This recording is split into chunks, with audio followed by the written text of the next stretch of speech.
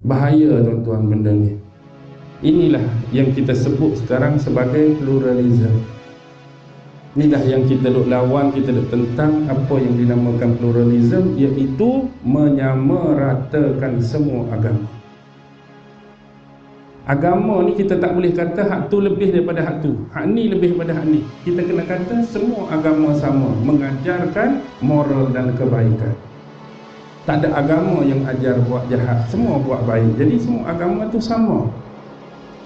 Dah kalau semua agama sama, apa berlaku tuan-tuan?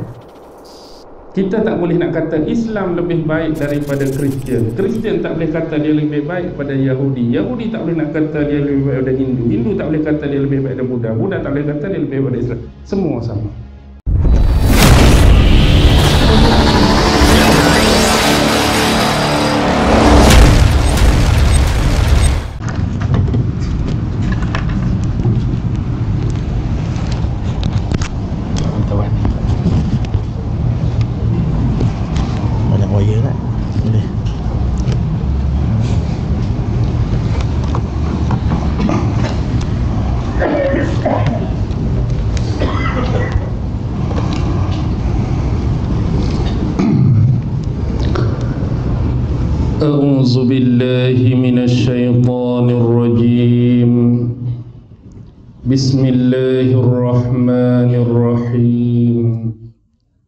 السلام عليكم ورحمة الله وبركاته.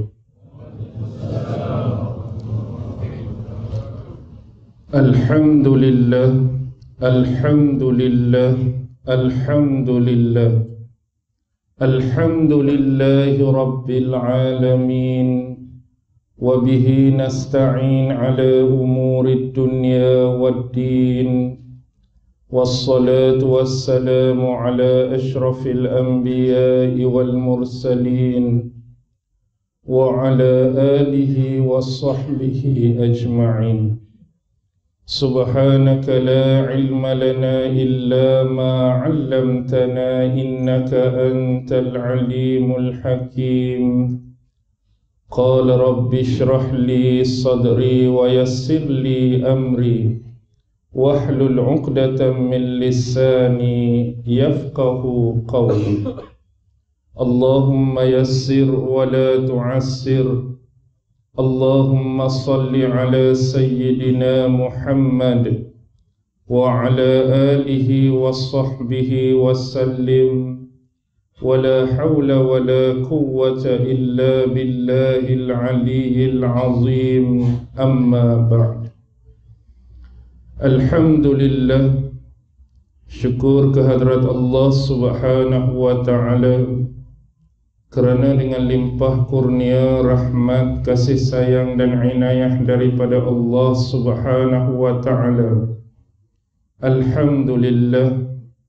Pada malam ini sekali lagi kita sama-sama dapat dipertemukan oleh Allah subhanahu wa ta'ala sesuai dengan keizinan daripadanya dan mudah-mudahan majlis ilmu kita senantiasa beroleh rahmat dan keberkatan dari sisinya insya-Allah. Terlebih dahulu saya memohon maaf sebab saya memang tak berapa sihat dah dua hari dah demam. Tengok mikrofon pun macam orang sakit jantung dah 4 5 mai kat saya ni. Tapi tak apa. Alhamdulillah Moga-moga pada malam ini ada kekuatan untuk saya berbicara di hadapan tuan-tuan dan puan-puan. Moga-moga kita sama-sama dapat mengambil iktibar dan manfaat daripada majlis ilmu kita pada kali ini insya-Allah. Tuan-tuan, puan-puan, hadirin hadirat, muslimin muslimat yang dirahmati sekalian firman Allah Subhanahu wa taala di dalam Al-Qur'an A'udzu billahi minasy syaithanir rajim. Ud'u ila sabili rabbika bil hikmati wal mau'izatil hasanah wajadilhum billati hiya ahsan. Ud'u ila sabili rabbik.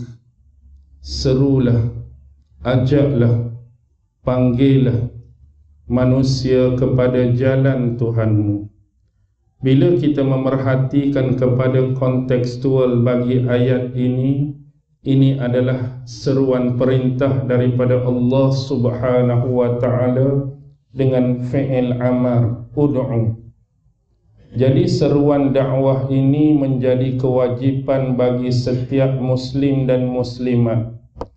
Jangan sesekali kita menyangka bahawa dakwah ini adalah absolutely milik ulama-ulama.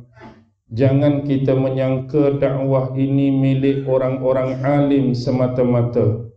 Milik orang-orang yang mempunyai integriti dan otoriti dalam agama semata-mata tetapi manhaj dakwah ini adalah meliputi kepada kita semua dan menjadi kewajipan atas kita. Bagaimana dakwah ini berperanan bagi kita sebagai orang-orang awam biasa? Dakwah kita mungkin berkisar dalam ruang lingkup ahli keluarga kita dalam rumah tangga kecil kita. Sebagai seorang lelaki rata-rata di hadapan saya ini mungkin adalah bapa kepada anak-anak dan juga suami kepada isteri di rumah masing-masing.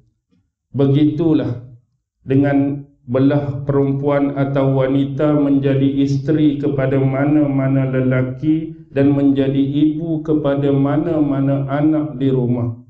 Inilah ruang ringkup dakwah ringkas kita bagaimana seorang bapa dan seorang ibu mendakwahkan sama ada dalam konteks agama dalam rumah tangga konteks pendidikan dalam rumah tangga konteks tarbiyah dalam rumah tangga ataupun mempersoalkan tentang adab etika akhlak dalam rumah tangga bersama ahli keluarga dan anak masing-masing. Dan bila kita ingat ini adalah kerja yang menjadi kewajipan kita semua, pointed kita nak terarah ke mana tuan-tuan dan puan-puan? Ila sabili rabbik. Dakwah yang kita nak buat, seruan yang kita nak buat, ajakan yang kita nak buat, biar paksi dia bermuara pada jalan Allah. Segalanya yang kita niat, ikhlaskan balik kepada Allah bahasa yang mudah kita nak ajak orang kita nak tarik orang kita nak dakwah orang paling dan kembali pada Allah. Jangan sesekali kita berdakwah kerana nak palingkan wajah manusia kepada kita jangan. Kerana ada sebahagian manusia-manusia yang berdakwah mereka nakkan populariti. Ada yang berdakwah kerana nak glamour dan terkenal ada yang berdakwah kerana nakkan imbuhan-imbuhan tertentu. Ada yang berdakwah nak suruh muka dia keluar dalam TV. Ada yang berdakwah nak suruh muka dia keluar majalah. Ada yang berdakwah kalau pi tempat orang ramai atau dipenuhi oleh manusia, orang akan datang selfie sana, selfie sini. Ini semua adalah benda-benda yang akan datang sendiri bila munculnya keikhlasan kita berdakwah kepada Allah. Janganlah perkara-perkara yang saya sebutkan tadi menjadi tujuan utama dalam dakwah kita. Itu yang dimaksudkan. Maksudnya kita nak palingkan manusia yang sebenarnya hanya kepada Allah supaya mereka benar-benar memahami Allah dengan sebenar-benar pemahaman dan kenal Allah dengan sebenar-benar pengenalan. Baik cara yang didatangkan oleh Allah untuk ajak manusia dalam bidang atau konteks dakwah ini adanya tiga cara. Pertama sekali ialah bil hikmah. Dan kalau kita melihat kupasan-kupasan ataupun definasi yang diberikan oleh ulama-ulama berkaitan kalimah hikmah cukup banyak. Ulama ni definasikan demikian, ulama ni takrifkan demikian, ulama ni cakap demikian. Walau apapun saya mengambil kesimpulan yang ringkas, ada tiga kriteria untuk memenuhi apa yang dikatakan sebagai hikmah. Pertama ialah ilmu yang betul dan tepat. Termasuk dalam hikmah dakwah yang kita nak sampaikan tu mesti betul mesti tepat. Yang kedua masa yang bersesuaian. Kita nak dakwah kat orang ni kena tengok masa juga. Bukan kata kita boleh cakap tak kira depa duduk keadaan lagu mana kita nak sembuk je Dakwah ni kena ada masa, kena ada time yang bersesuaian. Yang kita rasakan mad'u atau orang yang nak mendengar tu masa yang paling special untuk dia terima kita bercakap. Ni kadang-kadang orang duk tengah memerut pun kita tunggu luak tandas dah. Cepat-cepat. Hadis yang seterusnya ni. Kawan tu duk memerut. Contoh. Boleh faham memerut sini? Faham ke tak? Oh, faham tak apalah. Tu saya nak senang cerita masa yang tak sesuai. Ilmu yang betul dan tepat, masa yang sesuai, mad'u yang sesuai. Orang hak kita nak dakwah tu pun orang yang mempunyai otoriti dan kelayakan untuk kita berbicara dan bercakap dan bersedia mendengar apa yang kita nak dakwahkan atau sebutkan pada dia. Ini adalah tiga kriteria yang memenuhi apa yang disebut sebagai hikmah. Wal mau'izah hasanah nasihat-nasihat yang baik. Sebab jalan dakwah ini hanya mengemukakan perkara-perkara yang baik memberikan penjelasan-penjelasan yang baik akhlak-akhlak yang baik kesantunan-kesantunan yang baik kalau kita mengatakan bahawa dakwah ini selain daripada itu tidak boleh dinamakan sebagai dakwah walaupun dia juga berupa ajakan. Kita ajak orang pi buat benda jahat, juga ajak. Kita ajak orang buat benda tak betul, juga ajak. Kita ajak orang buat benda jahat, juga ajak. Sebenarnya buat benda baik pun kita ajak, buat benda jahat pun kita ajak. Dua-dua berbentuk ajakan dan seruan. Tetapi yang benar-benar memenuhi apa yang didefinisikan sebagai dakwah hanya benda-benda baik. Tak pernah lagi orang guna, aku berdakwah nak ajak orang sama-sama minum arak. Masuk ke tak? Dia ajak juga. Tu tak masuk dalam metodologi dakwah. Aku ajak orang sama-sama pi pi buka ataupun ceroboh rumah orang lain. Tu tak boleh kita nak definisikan sebagai dakwah walaupun bentuk dia ajak orang lain juga. Dakwah hanya benda-benda yang baik dan memberikan pahala kepada kita. Dan yang ketiga ini yang paling banyak berlaku. Bila mana dalam dunia ilmu dunia dakwah pastinya akan berlaku perbezaan pandangan dan pendapat Bukan kata Muslim dengan non-Muslim saja yang mungkin ada perbezaan pendapat, tapi kita sama-sama Islam kita juga akan bertemu jurang pemisah ini. Hani dengan pandangan dia, Hani dengan pendapat dia, Hani dengan pandangan dia, Hani dengan pendapat dia. Jadi di sinilah memerlukan kepada kesabaran, memerlukan kepada berlapang dada memerlukan satu penerimaan yang bukan berteraskan kepada amarah dan emosi. Jadi kita selesaikan, kita settlekan ini dengan sebaik-baik jalan dan cara. Bukan dengan cara menghukum, bukan dengan cara menghujung, bukan dengan cara membuka aib, bukan dengan cara mencaci maki dan tuding menuding mencari kesalahan antara satu dengan yang lain. Ini yang diajarkan oleh agama dalam konteks dakwah. Walau bagaimanapun, saya sebenarnya nak mengembalikan kita kepada satu manhaj yang telah lama diterapkan oleh baginda junjungan besar Nabi Muhammad sallallahu alaihi wasallam. Kalau kita melihat ciri-ciri manhaj ataupun metodologi keistimewaan dakwah yang dibawa oleh Nabi Muhammad dia adalah suatu dakwah yang memenuhi kriteria kemanusiaan itu sendiri. Apa yang Nabi dakwahkan itu memang dipenuhi oleh seorang manusia. Sama ada dari sudut fizikal dan jasmani dia, sama ada dari sudut mental dan pemikiran dia, sama ada dari sudut jiwa, perasaan dan kerohanian dia, semua ada di dalam manhaj dakwah Rasulullah. Yang menyebabkan dakwah Rasulullah adalah antara yang paling high dan paling tinggi di dunia.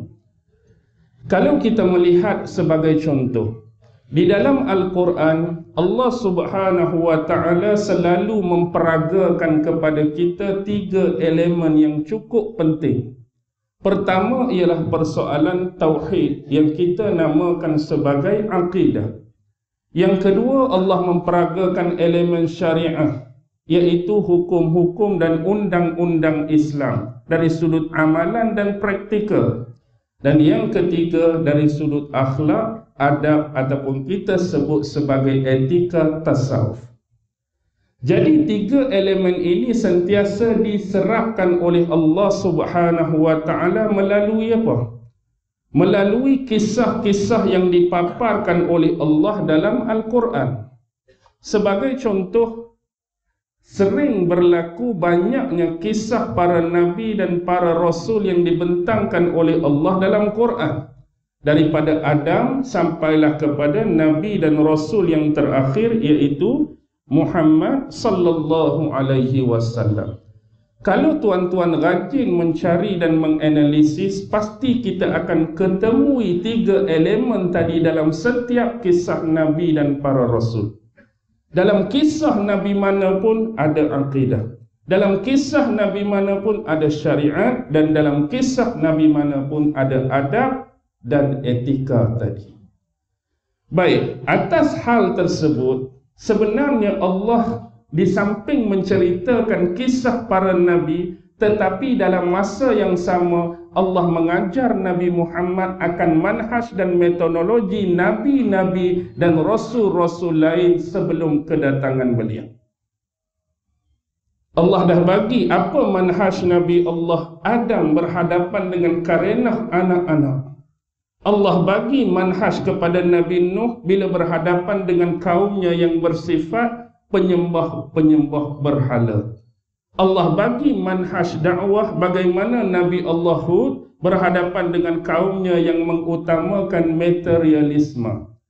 Bagaimana Allah mengenengahkan manhaj yang dikemukakan oleh Nabi Saleh bersama kaumnya Samud yang mana kaumnya bersifat anti kepada mukjizat sehingga mukjizat yang datang kepada mereka itu mereka bu bunuh mereka bunuh mukjizat yang didatangkan oleh Nabi Saleh berupa seekor un unta yang keluar daripada celah batu bagaimana manhaj Nabi Ibrahim berhadapan dengan orang-orang yang memuliakan bintang bulan dan matahari yang memuliakan idola-idola dan patung-patung berhala yang mengagungkan diri sendiri selayak Tuhan seperti Namrus ada manhaj yang Allah ketengahkan. Mari pula zaman Nabi Musa berhadapan dengan Fir Fir'aun.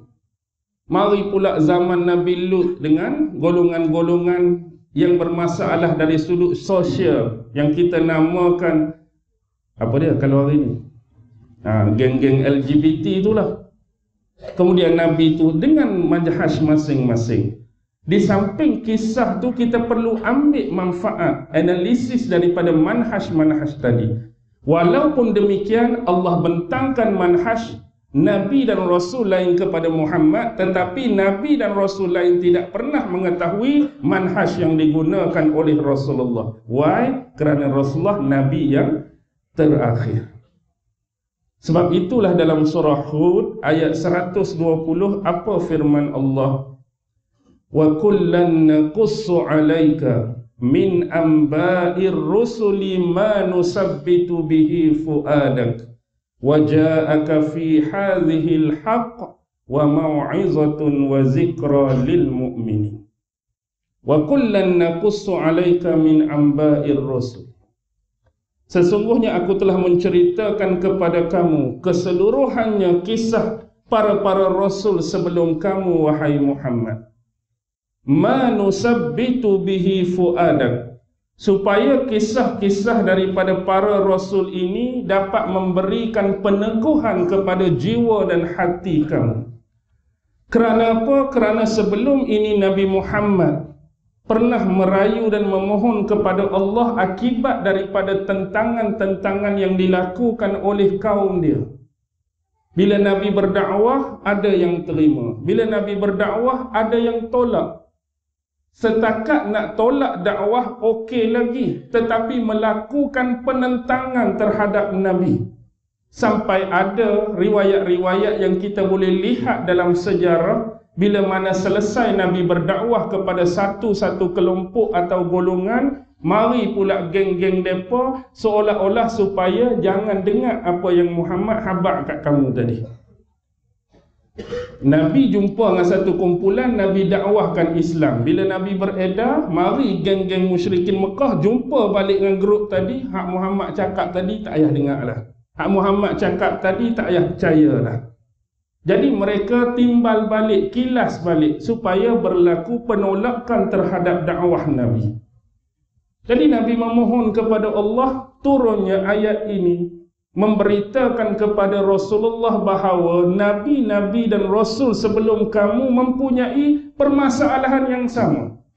Bukan kata dulu Nabi Nuh dakwah semua orang terima dengan mudah. Bukan kata Hud dakwah semua kaum dia terima dia. Nabi Hud terima tentangan tak? daripada kaum dia ditentang. Nabi Nuh ditentang. Hampir semua nabi-nabi ditentang oleh kaum dia. Bahkan kalau kita nak ambil data purata yang beriman dengan tak beriman, mana lebih besar jumlah? Kaum Nabi Nuh, 80 orang lebih je yang beriman. Sedangkan umur dia Allah bagi 950.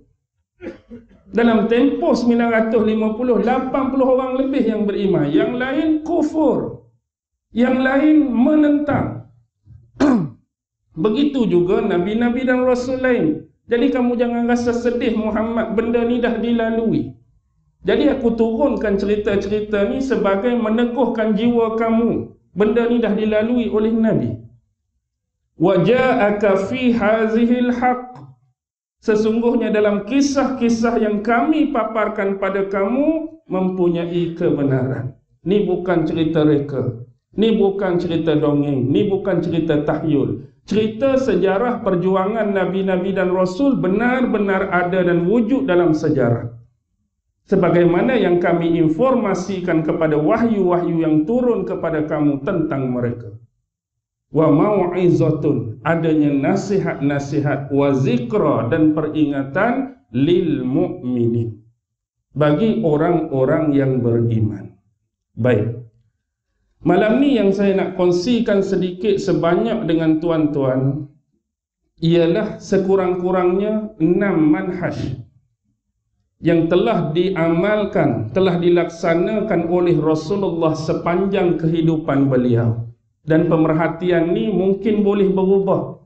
Mungkin ulama ni tengok ada enam benda ni, ulama lain tengok boleh keluarkan sehingga lapan, ulama lain datang mungkin boleh keluarkan seberapa banyak mutiara-mutiara daripada dakwah Nabi. Tapi sekurang-kurangnya yang kita nak berkongsi malam ni enam benda.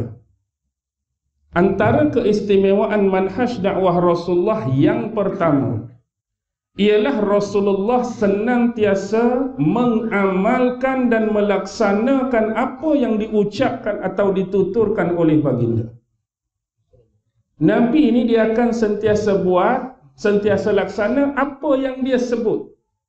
Dalam istilah bahasa Inggeris disebut walk the talk. Maksudnya percakapan dia, tutur kata dia selari dengan perbuatan dia. Bukan kata dia sebut tapi dia tak buat. Itu dimaksudkan dengan walk the talk seiring dan sejalan antara perbuatan dan apa yang diucapkan oleh baginda. Baginda ucap, baginda buat. Baginda buat, baginda ucap. Jadi bila ini yang berlaku, maka Rasulullah selalu tampil bukan saja di hadapan sahabat tetapi di hadapan sesiapa pun sebagai seorang tokoh yang berketerampilan. Seorang tokoh yang penuh kemuliaan. Seorang tokoh yang penuh memberikan pertolongan. Seorang tokoh yang penuh kebajikan.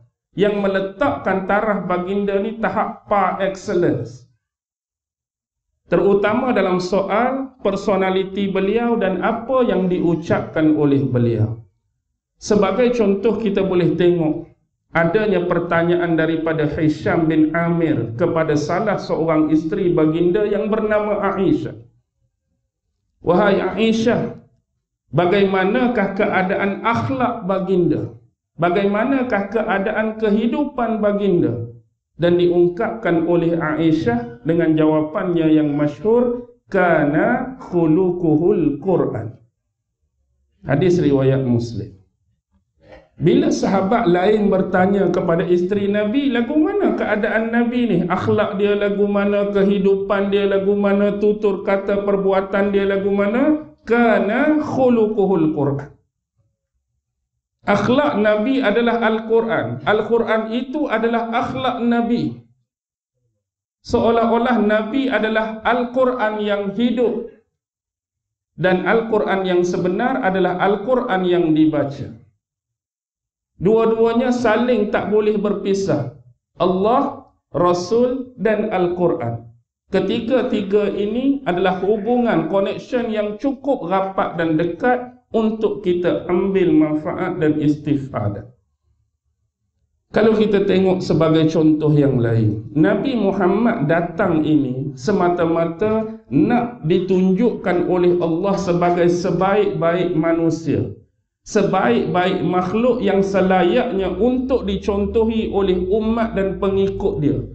Dari sudut mana, dari sudut apapun, ikutlah Nabi ikutlah sunnah-sunnah dan apa-apa yang ditinggalkan oleh Nabi. Sebagai contoh, dalam bab tadi, pernah berlaku ketika zaman Hasan al-Basri, Imam Hasan Basri, salah seorang tabi'in besar tuan-tuan. Satu hari pada hari Jumaat dia naik ke mimbar berkhutbah. Bila dia berkhutbah, selesai saja sembahyang Jumaat, bila dia keluar daripada masjid, ada dua tiga lelaki datang menemui Imam Hasan Basri. Lelaki tadi mengadukan kepada Imam Hasan Basri yang mana bukan sahaja mereka, mereka ni asalnya kuli-kuli, pekerja-pekerja yang ada majikan dan ada tuan.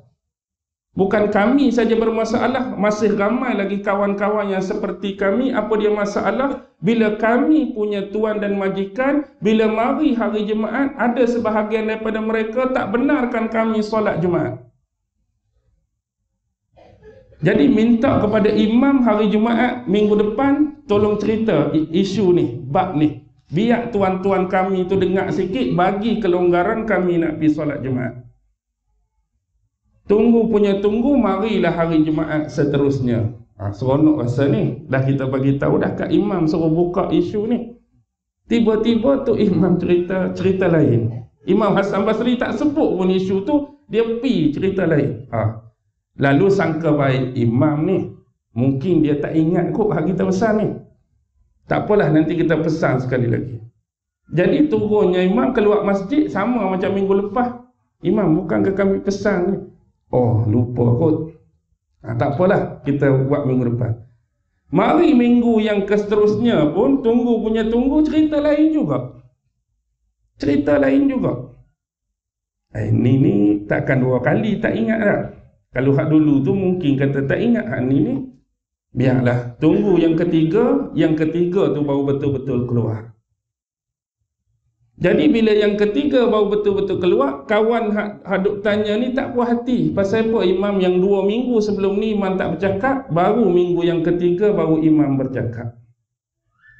Dia kata samalah. Rasulullah dia cerita sikit pasal Rasulullah bahawa Rasulullah ni sentiasa melaksanakan apa yang dia ucap.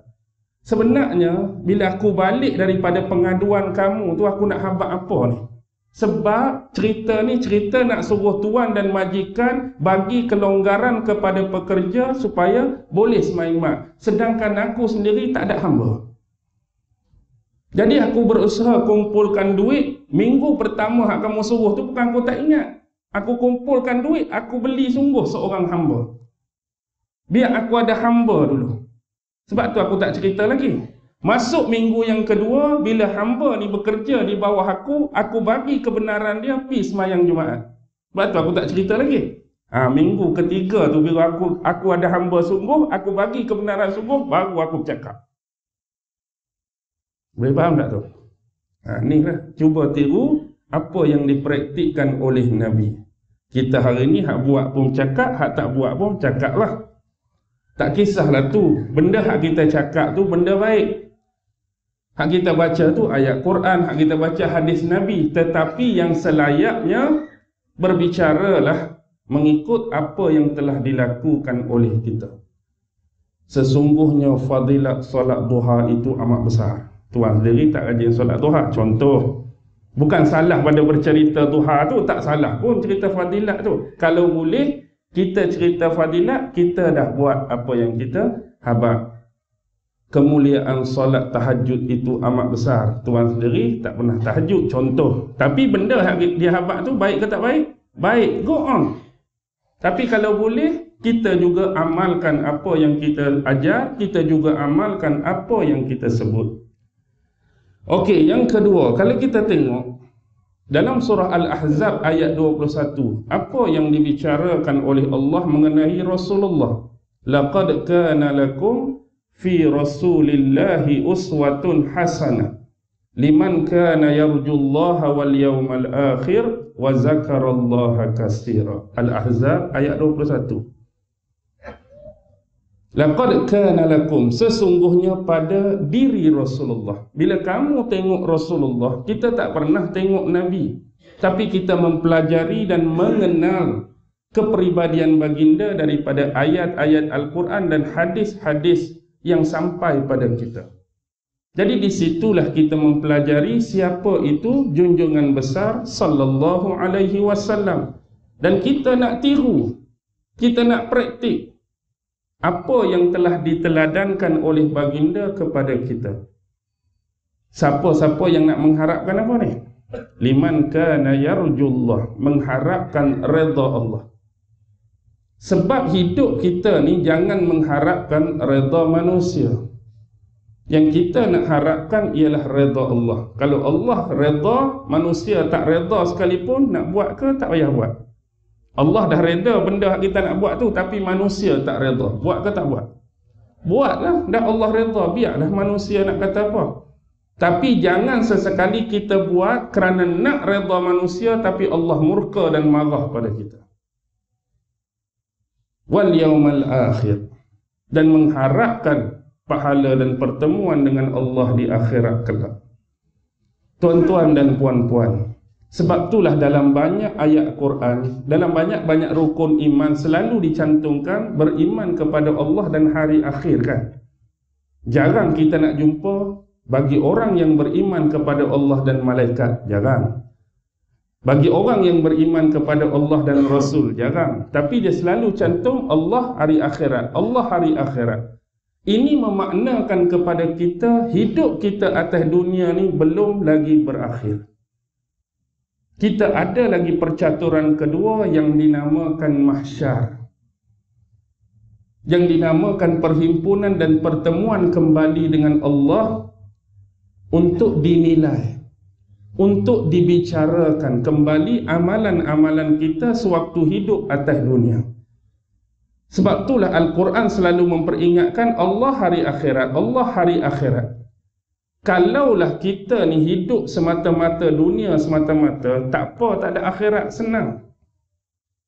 Mati-mati ya, akhirat tak hidup dah. Mati-mati ya, akhirat tak dibangunkan, tak dibicarakan, selesai, senang.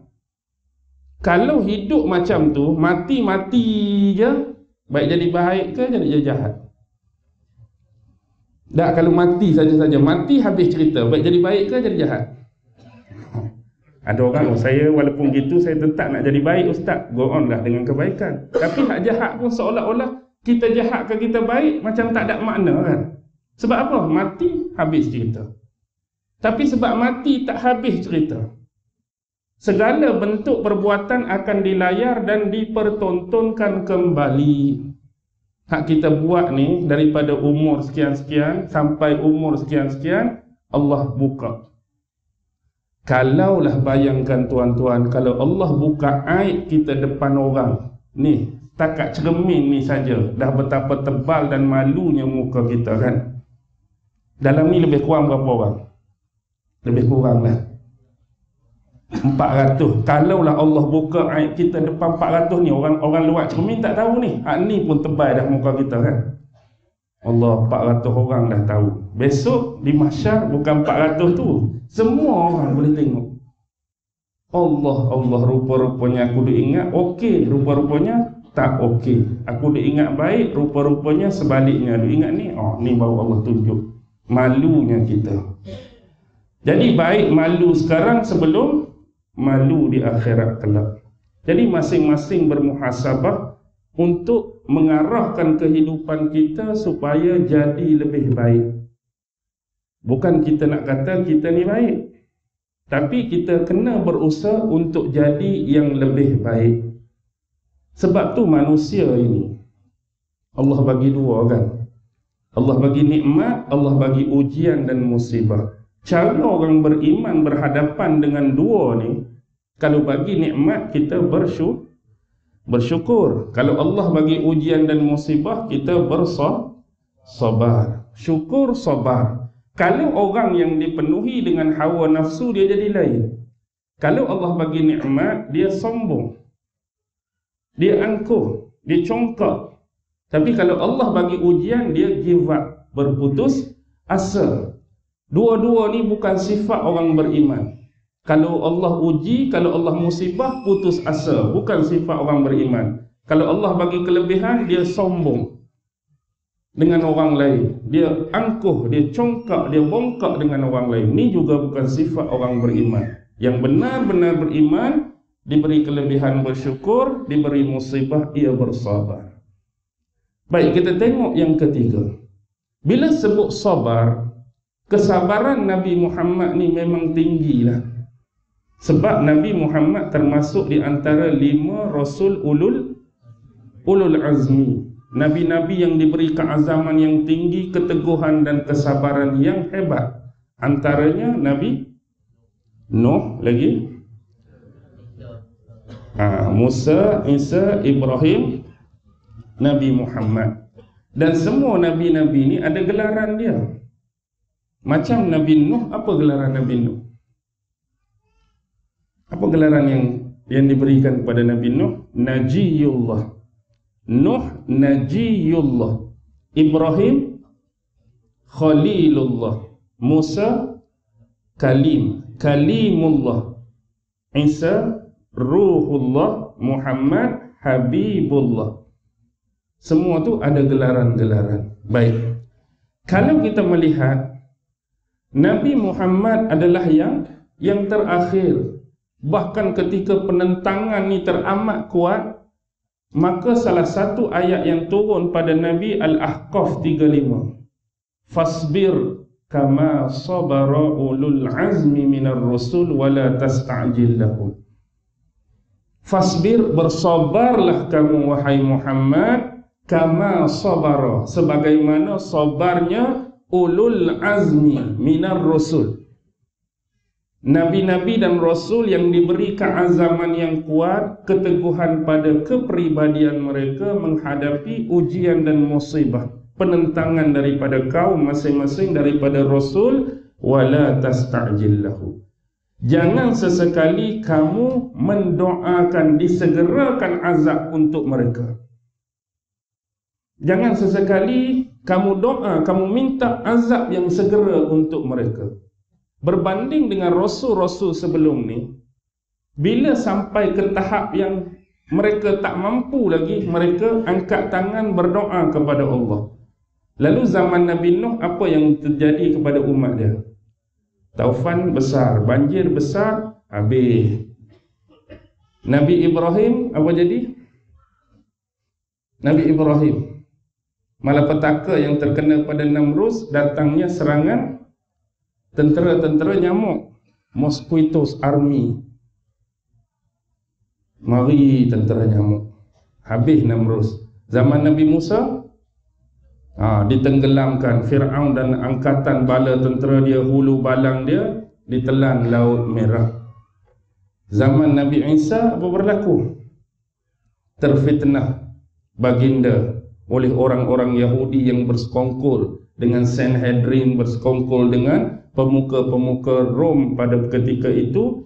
Lalu baginda diangkat oleh Allah Subhanahu wa taala. Lalu terbaliklah fitnah tentang isu crucifixion tu kan? Penyaliban di tiang salib. Nabi Muhammad macam mana? Sebelum Nabi Muhammad lahir tahun gajah tu apa bantuan daripada Allah datang Ha, Tayran ababil Burung yang berbondong-bondong Menyelamatkan rumah Allah.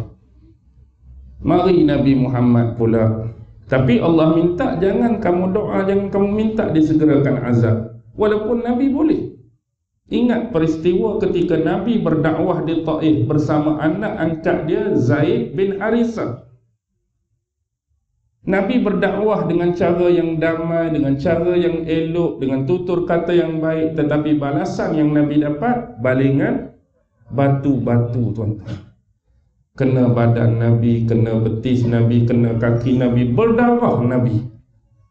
Kita hari ini berdakwah, tak tahulah orang lain. Kalau kita tak pernah lagi Kalau paling koman pun Ustaz, ah, kami tak benarkan ustaz berceramah di sini. Balik kita. Tak ada lagi geng-geng ni tunggu dengan batu dah. Baling kita baling kereta dengan batu tak pernah lagi. Nabi kena baling dengan batu. Ataupun koman-koman paling awal ustaz tak jadilah kuliah malam ni. Ramai tak suka. Jadi ustaz balik awal-awal dah senang. Ha. tak pernah lagi lah jadi lagu tu.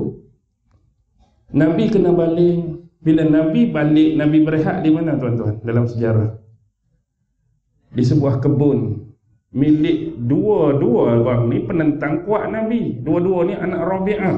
Utbah bin Rabi'ah dan Syaibah bin Rabi'ah. Dia suruh pembantu dia yang nama Adas pi layan Nabi. Bawa satu bekas minuman, bawa satu tangkai anggur pi. Nabi duduk di situ dengan Zaid. Bercakap-cakap lebih kurang datangnya malaikat yang menjaga gunung kan. Muhammad bagaimana kiranya kalau aku hempapkan gunung ni di atas kepala-kepala mereka? Penawaran tu tuan-tuan penawaran terhadap Nabi.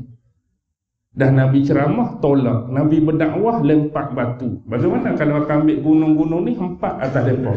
Jangan.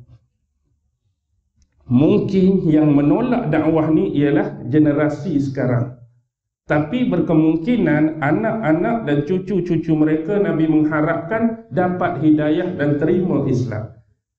Panjang Nabi punya vision, future vision Nabi. Kalaulah tuan-tuan, kalau kita diberi penawaran yang sama. Lagu mana? Allah sedihnya. Tak ada sampai lagi surah Al-Amin mereka dah halau. Ya Allah bantulah aku. Tiba-tiba malaikat bangunan mana tinggi tu dah. Lagu mana? Kalau kami pergi empat surau tu oh, alangkah baiknya. Buat sekarang. Contoh ha? ha, ni taklif ni nanti viral pula. Tak tahu hujung pangkai kena viral pula hak fahamnya orang di sini lah. Boleh faham tu tak maksud saya. Kalau kita ditawarkan macam tu macam-macam lah kita nak balakan orang musnahkan orang hancurkan orang. Tapi tidak Nabi. Baik kita tengok yang kedua. Hak nombor satu ingat betul-betul antara istimewanya manhaj Nabi sentiasa melaksanakan dan mengamalkan apa yang dituturkan oleh baginda. Yang kedua tiada kompromi dengan prinsip-prinsip asas Islam. Nabi tak pernah ada kompromi tuan-tuan dengan prinsip asas Islam. Antara prinsip asas Islam yang dibawa oleh Nabi Muhammad sallallahu alaihi wasallam ialah apa? Nabi datang untuk menghapuskan segala bentuk penyembahan kepada selain Allah. Hak mana orang duk sembah selain Allah tu Nabi nak hapuskan. Hak mana duk sembah berwasilahkan berhala-berhala Nabi nak hilangkan. Yang Nabi nak palingkan manusia cuma satu Bertauhid hanya semata-mata kepada Allah. Nak beribadat pun semata-mata kepada Allah. Cara-cara yang paling layak dan sesuai amaliah dan pelaksanaan Yang datang daripada wahyu dan tata cara Nabi dan Rasulnya. Sebab zaman Nabi Muhammad ni Rata-rata masyarakat pada masa tu memang kenal dah Allah ni Sebab tu banyak ayat Quran Kalau ditanya siapakah yang menciptakan langit dan bumi Layakulunna Allah Mereka jawab Allah. Tapi yang jadi masalahnya di samping beriman dan percaya kepada Allah hak cipta langit dan bumi dalam memohon dalam berhajat dalam meminta mereka berwasilahkan kepada paganisma tadi bentuk-bentuk berhala yang pelbagai. Hubalnya latanya uzanya manatanya isahnya nailahnya macam-macam nama inilah yang nabi nak buang inilah yang nabi nak hafuz Bahkan kalau kita meneliti tafsiran dalam surah Al-Kahfi, ada sebahagian daripada orang Arab yang hidup pada masa itu meyakini bahawa malaikat itu adalah anak-anak perempuan Tuhan. Malaikat itu mereka anggap anak-anak perempuan Tuhan. Ada yang percaya kepada jin, hantu dan roh. Ada lagi yang memuliakan sebahagian kecil. Hak sama macam Nabi Ibrahim dulu golongan sabiin tu. Matahari bulan bintang. Percaya kepada tahyul-tahyul dan khurafat tertentu terutama tatayur kalau nak keluar berjalan keluar berniaga burung terbang terbang ke belah kanan okey. Baik tu. Kalau burung terbang ke belah kiri alamat dia celaka ataupun sial Padahal dia pergi jual pasar malam burung terbang kok keri belambak pun untung kebuk juga dah. Tengok burung terbang kok kanan jual pasar malam orang tak beli juga. Maksudnya benda tu tak nak kena mengena. Contoh lagi dia kata dalam perut manusia ni ada seekor ular.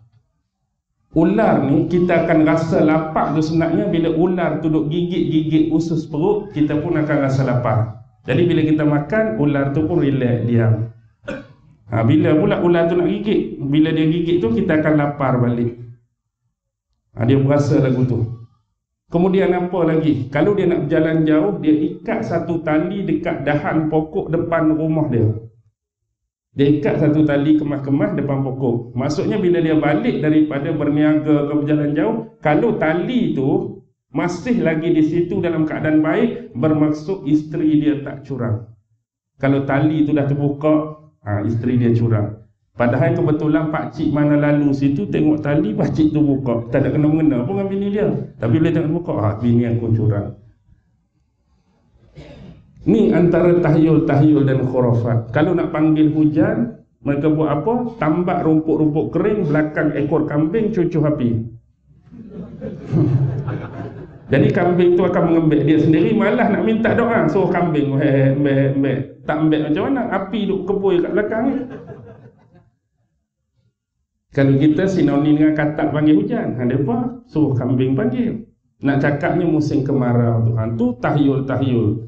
Sebenarnya benda ni bukan benda baru. Kita je malah baca dah. Kalau baca berlambak dalam kitab-kitab sirah cerita tentang keadaan-keadaan zaman jahiliah Okey, yang paling Nabi tak boleh berkompromi Yang jelas nampak bila turunnya surah Al-Kafirun. Kenapa turun surah Kulia ayyuhal kafirun pada Nabi? Sebabnya satu hari datang sekumpulan Golongan elit bangsawan Kafir-kafir Quraisy minta kompromi dengan Nabi. Nak suruh Nabi berhenti dakwah Nabi tak berhenti Nak suruh Nabi ikut agama dia Nabi tak mau ikut Last kali mereka cuba kompromi dengan Nabi buat penggiliran. Macam ni Muhammad. Setuju atau tidak kamu kita gilir-gilir tahun. Contohlah kata, tahun ni kami akan beriman dengan Tuhan kamu. Yang kamu percaya, yang kamu beriman, kami pun akan percaya dan beriman pada dia. Segala bentuk ibadat pun kalau kamu semayang, kami akan semayang. Kalau kamu puasa, kami akan puasa. Tapi gile-gile, tahun depan kami sembah berhala, kamu pun kena sembah berhala. Tahun ketiga, tukar balik. Tahun keempat, berhala balik. Mereka minta gile-gile ikut tahun. Nabi terima ke Nabi tak terima? Oh, Nabi tak ada kompromi ya.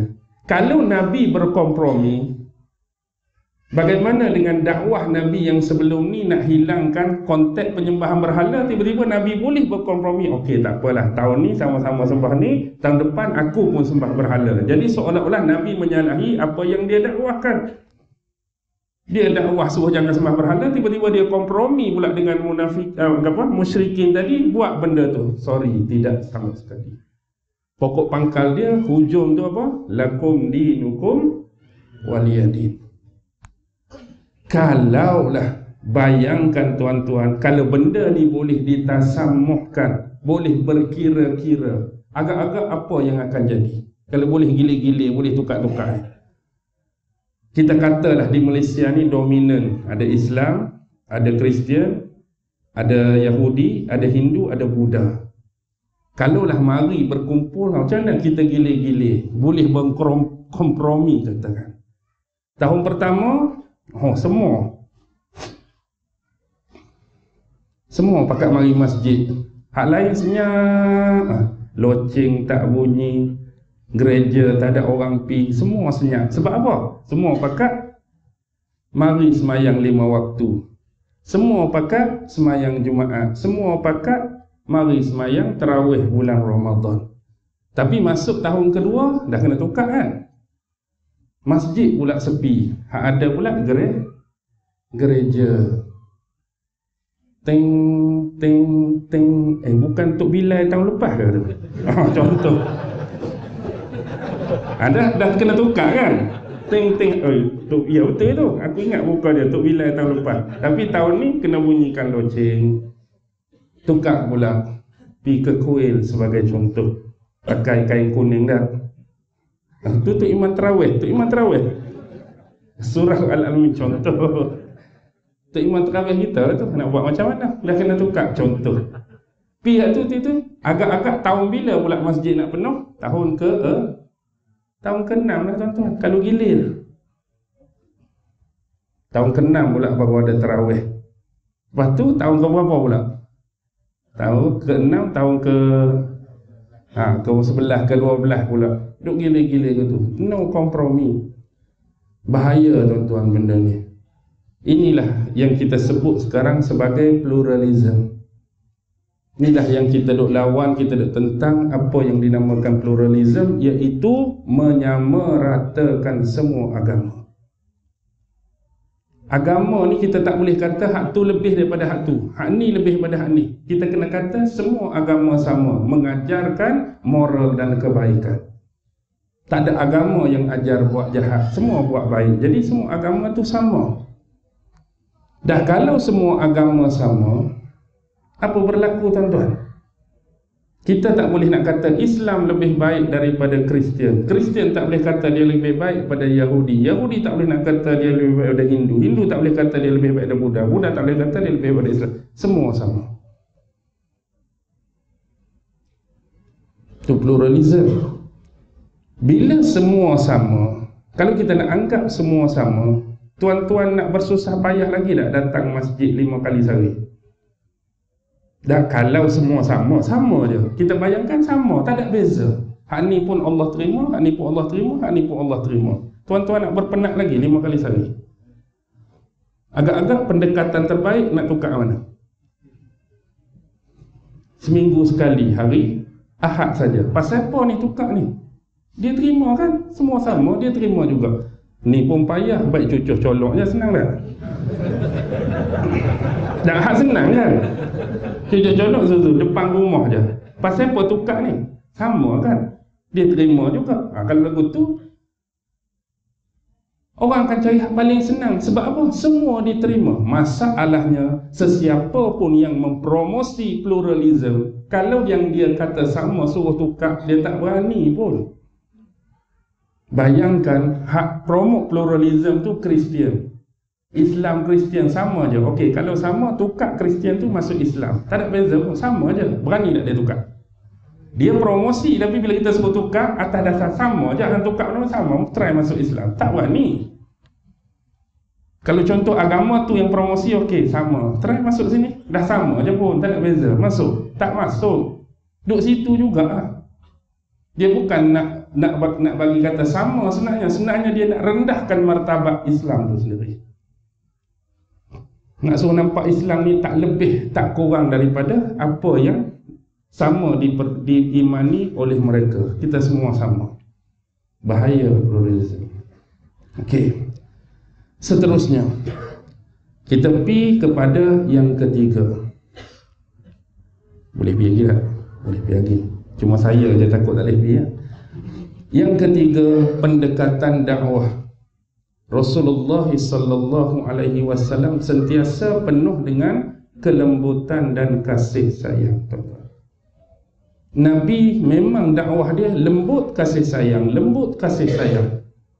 Paling jelas hak mudah yang masyhur kisah kita boleh ambil ialah bagaimana adanya seorang Arab Badui yang masuk dalam masjid Nabi tiba-tiba pi pi kencing di salah satu sisi atau sudut masjid.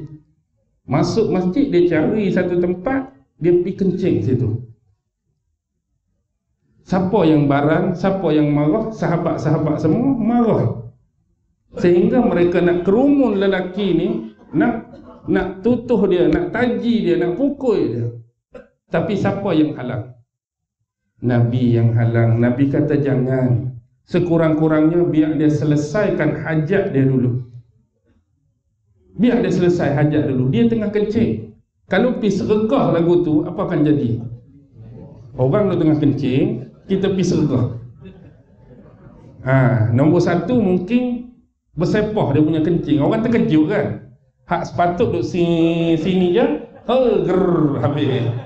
Satu habis dinding. Yang kedua Mungkin dari sudut perubatan ke saintifik ke dia boleh mengganggu mengganggu. Orang terkejut lah mana kita kencing jerekah kita terkejut dia membantukkan sistem tu. Bukan kata kencing berok pun sama. Berok pun sama. Contoh kalau kita duduk berok dulu zaman-zaman dulu dia tak ada tandas kan? Sakit perut tengah malam pun dalam semok juga jawapan dia.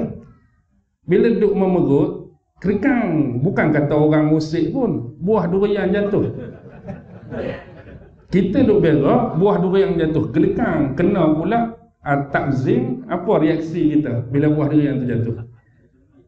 Ah, maksudnya satu kita terkejut tapi macam rasa tak puas hati kan maksudnya ni. Kalau hak jenis gedegang tiga biji durian pun sengih macam tu. Hak tu orang apa tu? Durian tiga biji dah jatuh tapi relax lah muka dia. Oh, sama ada satu pekak betul ya.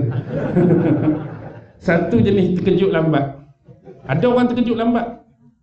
Buah kelapa jatuh sebelah dia tu 3 minit lepas. Dia tengok kelapa baru. Ah! Padahal jatuh 3 minit lepas hari baru dia lompat 3 minit kemudian. Jenis terkejut lambat. Tu nak habaq. Tapi bila Nabi pergi halang sahabat dia, apa berlaku tuan-tuan?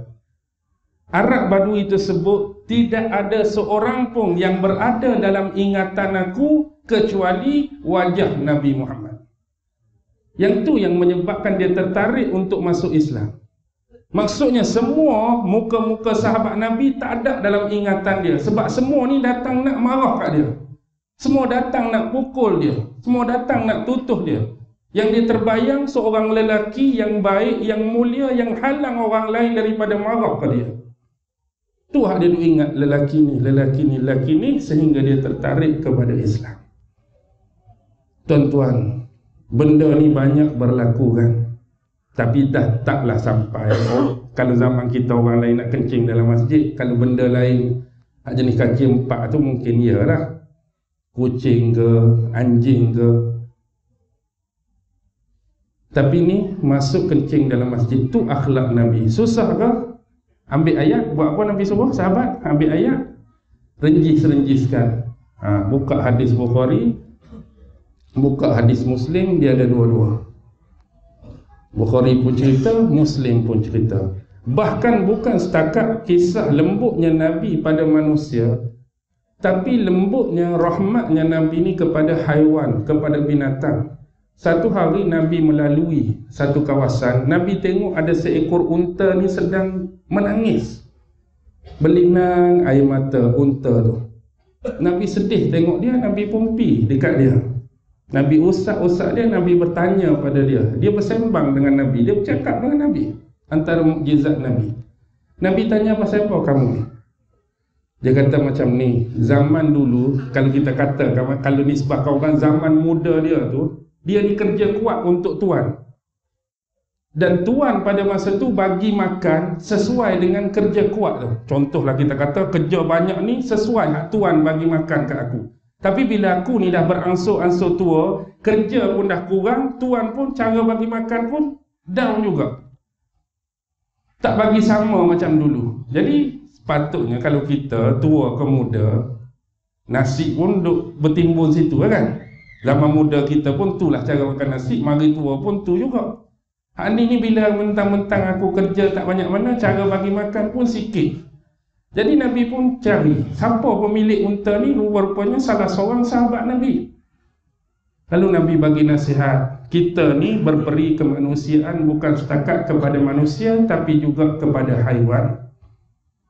Haiwan juga ada hak atas tuan dia. Maksudnya sekurang-kurang hak haiwan tu ada tempat tinggal dia, kandang dia, cara-cara yang sesuai kandang lembu lagu mana, kandang kambing lagu mana, kandang unta lagu mana. Lepas tu makan minum dia.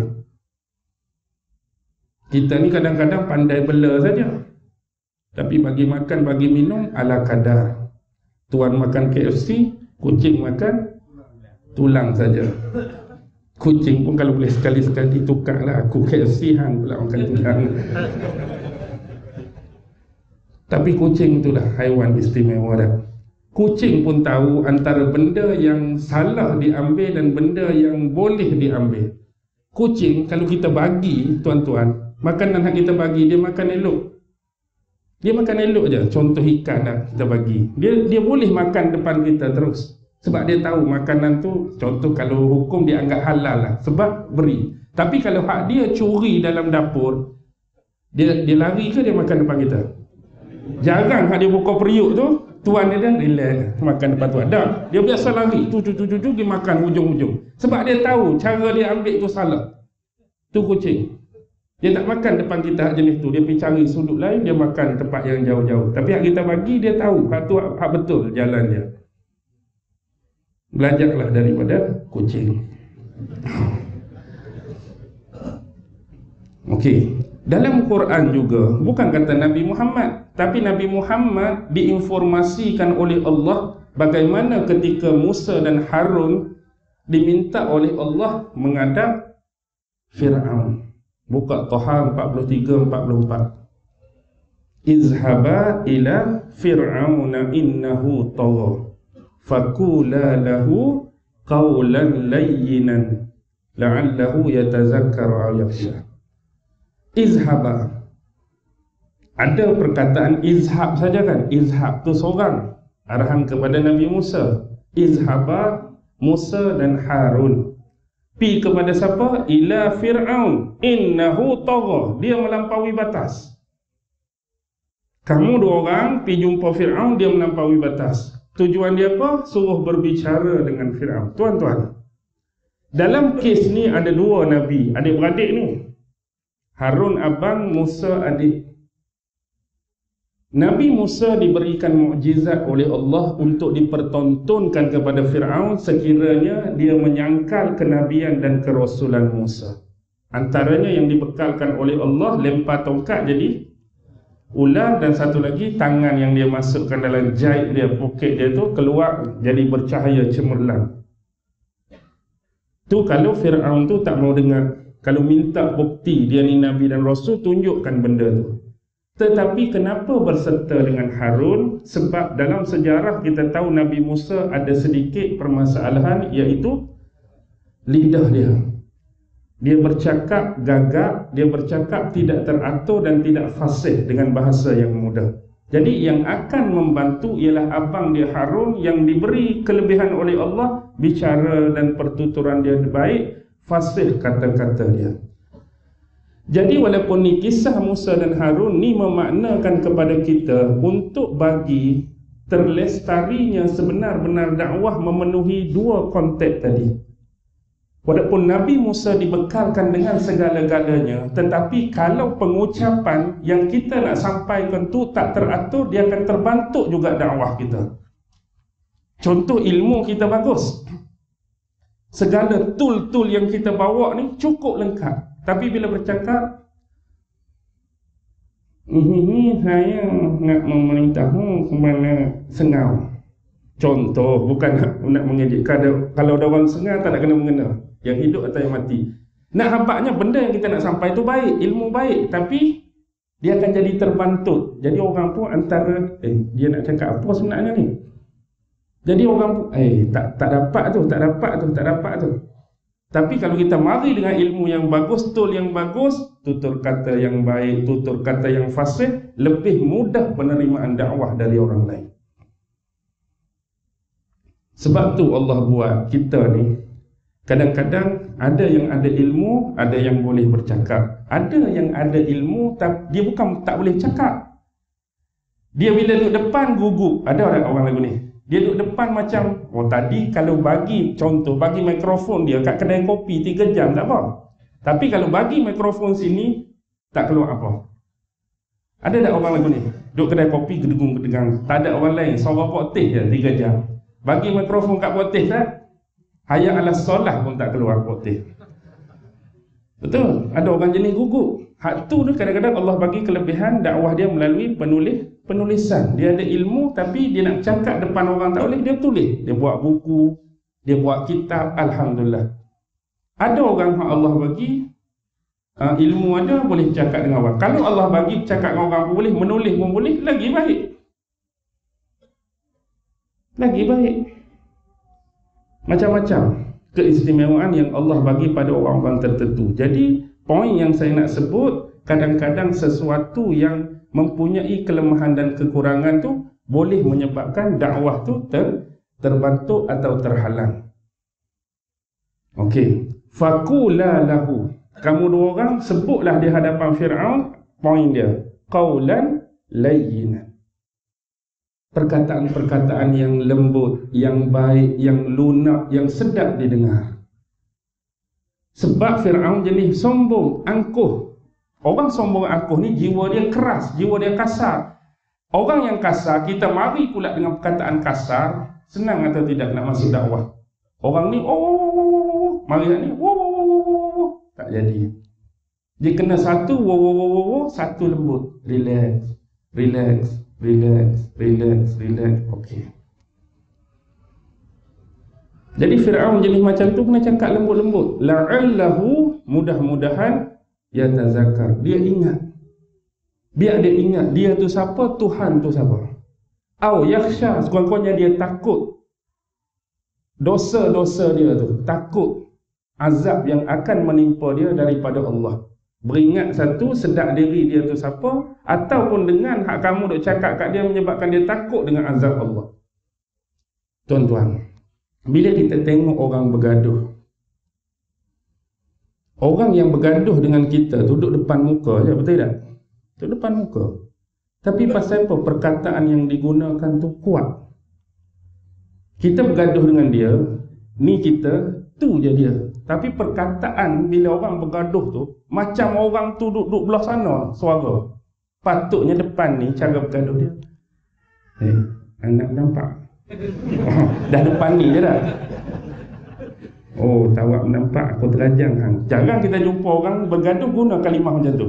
Walaupun duduk depan Wow, wow, wow, wow, wow. Pasal apa tuan? Pasal apa dia perlu kuatkan suara? Naikkan dia punya tone suara sedangkan kawan hak dia nak lawan tu duduk depan dia. Tak dengar ke kawan tu? Dengar. Tapi dia tak boleh nak guna macam perkataan yang saya sebutkan tadi. Wahai sebab hanya jasad dan jasmani dia saja dekat tetapi hati dia seorang di timur seorang di barat hati mereka tak berada di tempat tu tuan-tuan jadi bila hati mereka jauh, mereka terpaksa guna suara yang tinggi. Tak dengar. Duduk depan tu jiwa, duduk depan tu apa dia? Jasad je. Duduk depan tu fizikal. Hati tu belakang tu, hak seorang ni belakang ni. Oh, oh, oh, oh, oh, oh. Tapi bagi orang yang memang jasad dekat, hati dekat. Hati dekat. Orang yang kita sayang Orang yang kita cinta. Bila bercakap Ni duduk depan. Hati dekat ni. I love you. Kau pernah tak kita dengar orang I love you Dua belah taman dengar? Tak ada. Sebab apa dia dekat perlahan pun masuk? Sebab hati tu duduk dekat Hati ni dekat, hati ni dekat. I love you pun dah memadai Walaupun dengar suara yang perlahan Hati tu boleh terima. Kalau hak lagi Hak lagi core Dia tak payah ucap Dia senyum je. Kawan ni pun faham Senyum juga. Tak payah dengan kata-kata. Dekat tu maksudnya Dekat sungguh. Dekat sungguh.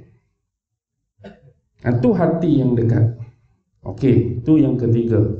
Yang keempat kalau kita perhatikan Rasulullah sentiasa berusaha untuk meminimalkan atau dengan kata lain mengurangkan bebanan-bebanan syariat atas umat dia. Nabi try nak suruh bagi ringan bagi ringan. Yang terbaik kita boleh ambil ialah ketika peristiwa Isra dan Mi'raj. Jelas tuan-tuan. Asalnya kefarduan solat berapa rakaat? 50 banyak naik turun naik turun naik turun. Lebih kurang sembilan kali barulah dapat kefarduan lima waktu solat. Bayangkan kalau lima puluh tu Nabi tak mau minta. Kita ada berapa jam sehari semalam? 24 kita tambahlah satu bayangkan. Kita letak 25 nak suruh senang. 25 jam 50 waktu. Maksudnya setiap setengah jam kena semayang Sejam tu kena dua kali semayang. Sejam kena dua kali semayang. Setengah jam kena solat. Pi pejabat pos kan? Abang nak buat apa? Saya nak beli stand. Stand berapa? Tiga ringgit Okay start ha? Buka laci dia kan? Habis bayar baki. Abang saya nak buat Sambung ni Rock tape mampu Okey tunggu. Jangan gede-gede-gede Mari orang ketiga saat Waktu semayang. Baru dua orang Dah setengah jam dia kan? Setengah jam dah semayang. Baru dua orang kita duduk di kaunter Tunggu lah Semayang. Semayang kita. Mari pula lepas dua orang Tunggu Kena semayang pula. Agak-agak 8 jam kita bekerja sehari Berapa kali kena semayang 8 jam? 16 kali tuan-tuan. 16 kali waktu kerja. Waktu malam baru nak lelak Pukul 12 Allah 12 setengah Tok Imam pun haru Allahu Akbar Allahu Akbar. Tok Bilal ni tak boleh pergi ke mana dah? Duduk situ lah Dah setengah jam? Agak-agak ada berapa Tok Bilal satu masjid? Tak bayangkan kalau setengah jam. Nak nak round gila ni. Nak round gila Sat Allahu Akbar. Baru kadang-kadang Tok Bilal hak sayu 10 minit dah ambil masa kan? 20 minit aduh kena kena azan dah Ha, banyaklah berlaku kekurangan-kekurangan. Malam Jumaat lagi suai kan. Ha, suami isteri tengah syok. Oh, duh, masuk waktu lain pula dah. Baru setengah jam. Contoh. Allahu Akbar Allah. Semayang dulu. Ha, semayang dulu. Sambung semayang dulu. Me, me, memenatkan, meletihkan. Tu contohlah kalau jadi macam tu sungguh kan. Jadi Nabi minta lima. Lima tu pun berat keringan tuan. Lima tu pun berat. Dalam lima tu masih lagi tak mampu kita nak settle. Jujur cakap Sampai hari ni pun Walaupun bergelar Islam Masih ada lagi orang Islam yang tinggal lima-lima. Lima-lima waktu dia tak semayang. Ada ke tak? Ada. Ada orang yang jenis pilih Yang rasa dia mampu buat. Biasa orang yang jenis pilih ni Dia akan pilih semayang apa? Ada yang mampu buat. Zuhur ha, Kalau subuh tu memang payah lah ha, Maghrib. Subuh, ha, Zuhur dengan Maghrib. Hak jenis payah, subuh, asar dengan Isyak. Tu pun sebab kuliah Kuliah habis tu isyak lama dah. Dia nak balik macam tu mana orang Jadi semayang lah juga isyak kan. Semayang juga isyak. Okey. Kalaulah semayang tu Kurang tiga Hak lima tadi kita katakanlah tiga Ada lagi tak orang tinggal? Kata subuh, zuhur, maghrib saja Ada lagi tak orang tinggal? Ada lagi. Kalau bayangkan subuh saja. Ha, subuh saja. Semayang yang wajib hanya subuh dua rakaat. Ada lagi tak orang tinggal? Ada lagi. Waktu tu mungkin alasan dia pasal apa lah hak wajib dua ni waktu kita nyenyak tidur. Letaklah waktu zuhur. Kalau letak waktu zuhur sekalipun dua rakaat tu semayang ke tak semayang? Hak nak tinggal, tinggal juga. Bayangkan semayang subuh cuma satu rakaat. Kita kecil lagi. Satu rakaat saja semayang subuh. Ada lagi tak agak-agak orang tinggal? Ada lagi. Bayangkan semayang subuh tak ada rokok, tak ada sujud. Allahu Akbar. Turun at-tahiyatul mubarakah. Ada lagi tak orang tinggal? Ada lagi kalau tahap tu pun. Allahu Akbar, terus at-tahiyat. Ada lagi orang tinggal? Hak sebenarnya, hak tinggal-tinggal tu dia nak apa? Tak payah tak payah semayang tu ya. Kalau boleh tak payah semayang. Hak bahagian semayang tu semayanglah masyarakat kita. Lepas tu duk bergaduh pula tentang semayang kan. Terawih ha ni 20 rakaat, ha ni berapa rakaat lagi? 12 tu bergaduh lah bahagian rakaat. Lepas tu bergaduh bahagian turun tak turun pula dah. Oi, dalam hadis Nabi turun lutut dulu, lepas tu baru tangan. Kawan ni pula Eh, aku tengok hadis Nabi turun tangan dulu baru lutut. Lepas tu bergaduh.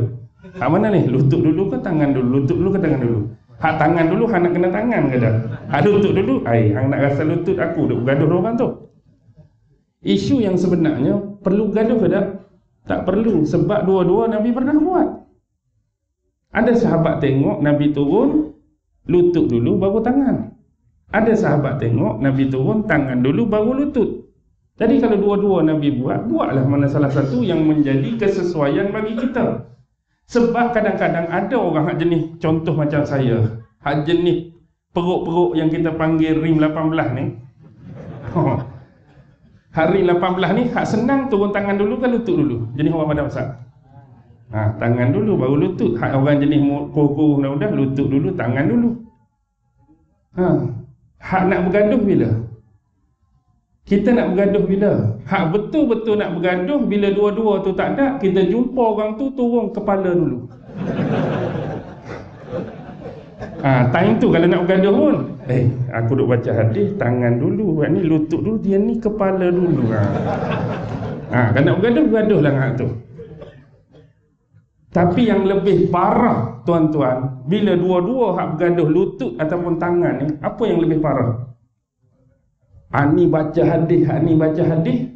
Lah-lah sekali apa dia? Ani tak semayang, Ani pun tak semayang. Dia duduk gaduh saja. Oh, Nabi macam ni, Nabi macam ni. Hang semayang ke tak? Aku tak semayang, syarah saja. Ha? Aku pun syarah saja, aku tak semayang. Ha, letih. Dah, tak payahlah. Baik, kita tengok tu fardu. Kan Nabi meringankan lagi nak cakap suruh wajibnya semayang Kalau tak boleh berdiri Semayang sambil ha, Duduk, tak boleh duduk Baring, tak boleh baring Guna isyarat-isyarat tertentu. Nak mudahnya, habatnya jangan tinggal Solat. Tu je. Mana kalau tak buat lagi tu Malah lah. Segala jenis peraturan Nabi nak meringankan kita. Tak boleh macam ni, buat macam ni. Tak boleh macam ni, buat macam ni. Kalau puasa kewajipan 30 hari bulan Ramadan. Boleh ditunda boleh ditangguh bagi orang yang bermusa musafir. Orang yang bersalin orang yang menyusu orang yang beranak. Boleh. Ada rukhsah lepas tu zakat kena cukup haul dengan nisab. Tak cukup haul tak cukup nisab tak dikenakan. Ha, umum mudah kaya wajib bagi zakat. Miskin wajib terima zakat. Haji pun sama. Bagi yang ber kemampuan. Okey, tu antara keringanan. Kalau kita baca kisah Nabi Musa, masa Nabi Musa wafat, Nabi Harun pun dah wafat, siapa yang membimbing Bani Israel masuk ke bumi Kanaan? Nabi Harun wafat, Nabi Musa wafat. Nabi Musa wasiatkan pada siapa? Membimbing Bani Israel nak masuk ke bumi Palestin. Nabi Yu Yusha yang bawa ikan tu kan teman dia cari Nabi Khidir bila berperang mereka menang dapat banyak harta ghanimah tapi zaman tu syariat mengharamkan ghanimah Mereka tak boleh ambil harta yang mereka menang peperangan tu. Mereka kena kumpul di satu tempat, datang api suci, api suci tu akan angkat naik. Api suci tu sama dengan macam dia datang waktu korban Habil dan Qabil dulu. Waktu Allah nak pilih Qabil, Qabil dengan Habil punya tu, ha, dia turun api tu. Ambil korban tu. Sama dengan ghanimah, dia datang api tu naik. Tapi waktu tu api tu datang pusing tapi tak naik. Maksudnya apa? Ada orang yang berkhianat, ada orang yang sembunyikan ghanimah. Baik, sekarang mengaku. Siapa yang sembunyikan ghanimah? Kehadapan semua 12 kepala Bani Israel. Syadra dia, mereka kena bersalam dengan Nabi Yusha. Mari. Raubin punya ketua. Mari Syamun punya ketua. Mari Levi punya ketua. Mari Yahuza punya ketua. Mari Izakar punya ketua. Zebulun punya ketua. Yusuf punya ketua. Benyamin punya ketua. Jad punya ketua. Asyir punya ketua. Dan punya ketua. Naftali punya ketua. Berak. Ada dua tiga orang tangan mereka melekat. Melekat. Ay. Hang ada sembunyi apa-apa tak? Bila mereka keluarkan tuan-tuan Berkemungkinan kalau kena kat kita pun Kita akan sembunyikan juga. Iaitu Emas sebesar kepala lembu. Kepala lembu Hak betul-betul kepala lembu berapa kilo? Anggap-anggap Orang biasa sembelih lembu. Kepala lembu saja. Hak betul-betul kepala lembu berapa kilo? Lebih kurang lah. 20 Kalau emas besar kepala lembu kita dah apalah bayangkan eh? 40 kilo. Bayangkan 40 kilo emas harga sekarang. Tak boleh bayangkan. Kalau jumpa agak-agak nak simpan ke? Ha, Dia jadi macam tadi lah Benda tu berharga. Jadi ada yang sembunyikan. Jadi tak boleh. Kalau sembunyikan dia tak naik. Jadi serah semua. Ha, Baru naik balik. Tapi zaman Nabi Muhammad Halal tak harta wanimah Dah dihalalkan Maksudnya syariat tu berubah. Macam zaman Nabi Yaakob. Nabi Yaakob kahwin dengan kakak Layah, kahwin dengan adik Rahil. Boleh dikumpulkan dua adik-beradik seren serentak suami isteri. Mari syariat Nabi Muhammad boleh kumpul tak? Kita baru minta Pak Din kebetulan nak meminang tu anak Pak Din hak sulung. Tengok-tengok eh adik pun boleh tahan Pak Din kira sekaligus kan? Boleh tak? Pasal apa? Semalam Ustaz cerita kisah Nabi Yusuf dua-dua. Eh, cerita Nabi Yusuf. Cerita Nabi ya. Yakub dia boleh memadukan dua-dua adik-beradik. Ha, tu zaman dia. Ha, ni tak ada. Yang boleh bila berlaku cerai ataupun ma mati. Hak kakak kahwin tadi mati kita katakan. Bolehlah nak kahwin adik. Ataupun bercerai. Bolehlah nak kahwin adik. Tu pun kalau dia nak. Tu pun kalau dia nak tiba-tiba kita minta eh kahwin dengan aku dengan kakak aku pun bercerai dengan aku tak payahlah Okey, boleh faham? Baik. Kita tengok pula tiada kompromi Nabi dalam masalah pelaksanaan syariah. Ini berlaku ketika pembukaan kota Mekah. Pembukaan kota Mekah tahun berapa? Pembukaan kota Mekah, tuan-tuan. Ha, tanya sejarah sikit. Berapa hijrah pembukaan kota Mekah? Ujung-ujung dah. 8 hijrah. Ada tiga peristiwa besar 8 hijrah. Lepas buka kota Mekah, perang Hunain, perang Taif, tu je. 9 hijrah, perang Tabuk, ha, itulah peperangan terakhir. 10 hijrah, Nabi wafat. Okey. Lepas pembukaan kota Mekah terjadi peristiwa kes kecurian yang melibatkan seorang wanita ilik bangsawan Quraisy dari Bani Makhzum. Nama dia Fatimah binti Al-Aswad. Bani Makhzum ni ialah Bani Abu Jahal punya lah. Abu Jahal. Apa nama betul Abu Jahal? Nama sebenar Abu Jahal. Amru bin Hisham. Dia Bani Makhzum. Sayyidina Umar. Sayyidina Umar gabungan Bani Adi dengan Bani Makhzum. Sebab bapak Sayyidina Umar Bani Adi. Mak dia Bani Makhzum. Mak Sayyidina Umar itulah kakak Abu Jahal. Amru bin Hisham, kakak dia Hamtomah binti Hisham. Hamtomah itulah mak Sayyidina Umar. Jadi Sayyidina Umar anak saudara Abu Jahal. Nabi Muhammad anak saudara Abu Abu Lahab bukan setakat anak saudara besan Abu Lahab tu besan Nabi zaman jahiliah kan dua anak dia Ruqayyah dengan Ummu Kalsum kahwin dengan dua anak Abu Lahab Utbah dengan Utaibah kau tak tahu ni Sejarah. Tahu kan? Bukan setakat pak saudara berbesan.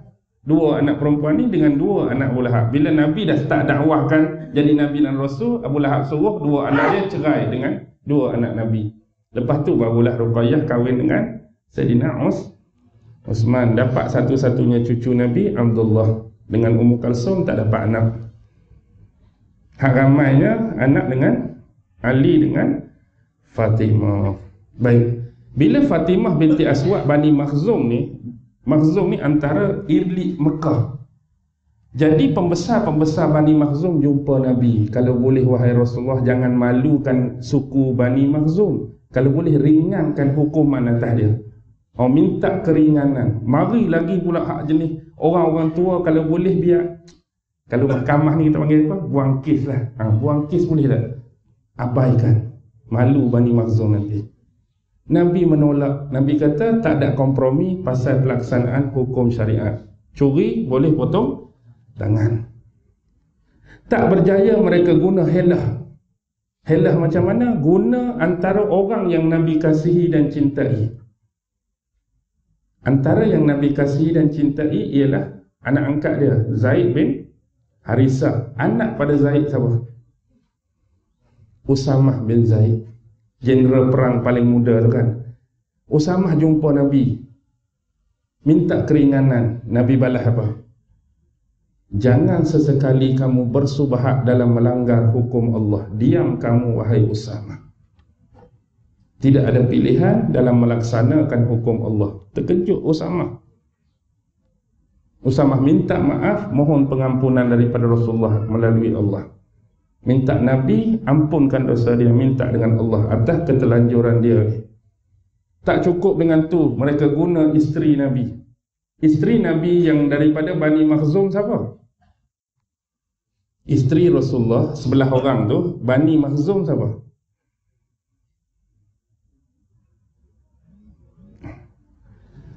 Khadijah Bani apa? isteri dia Khadijah binti Khuailid Bani apa?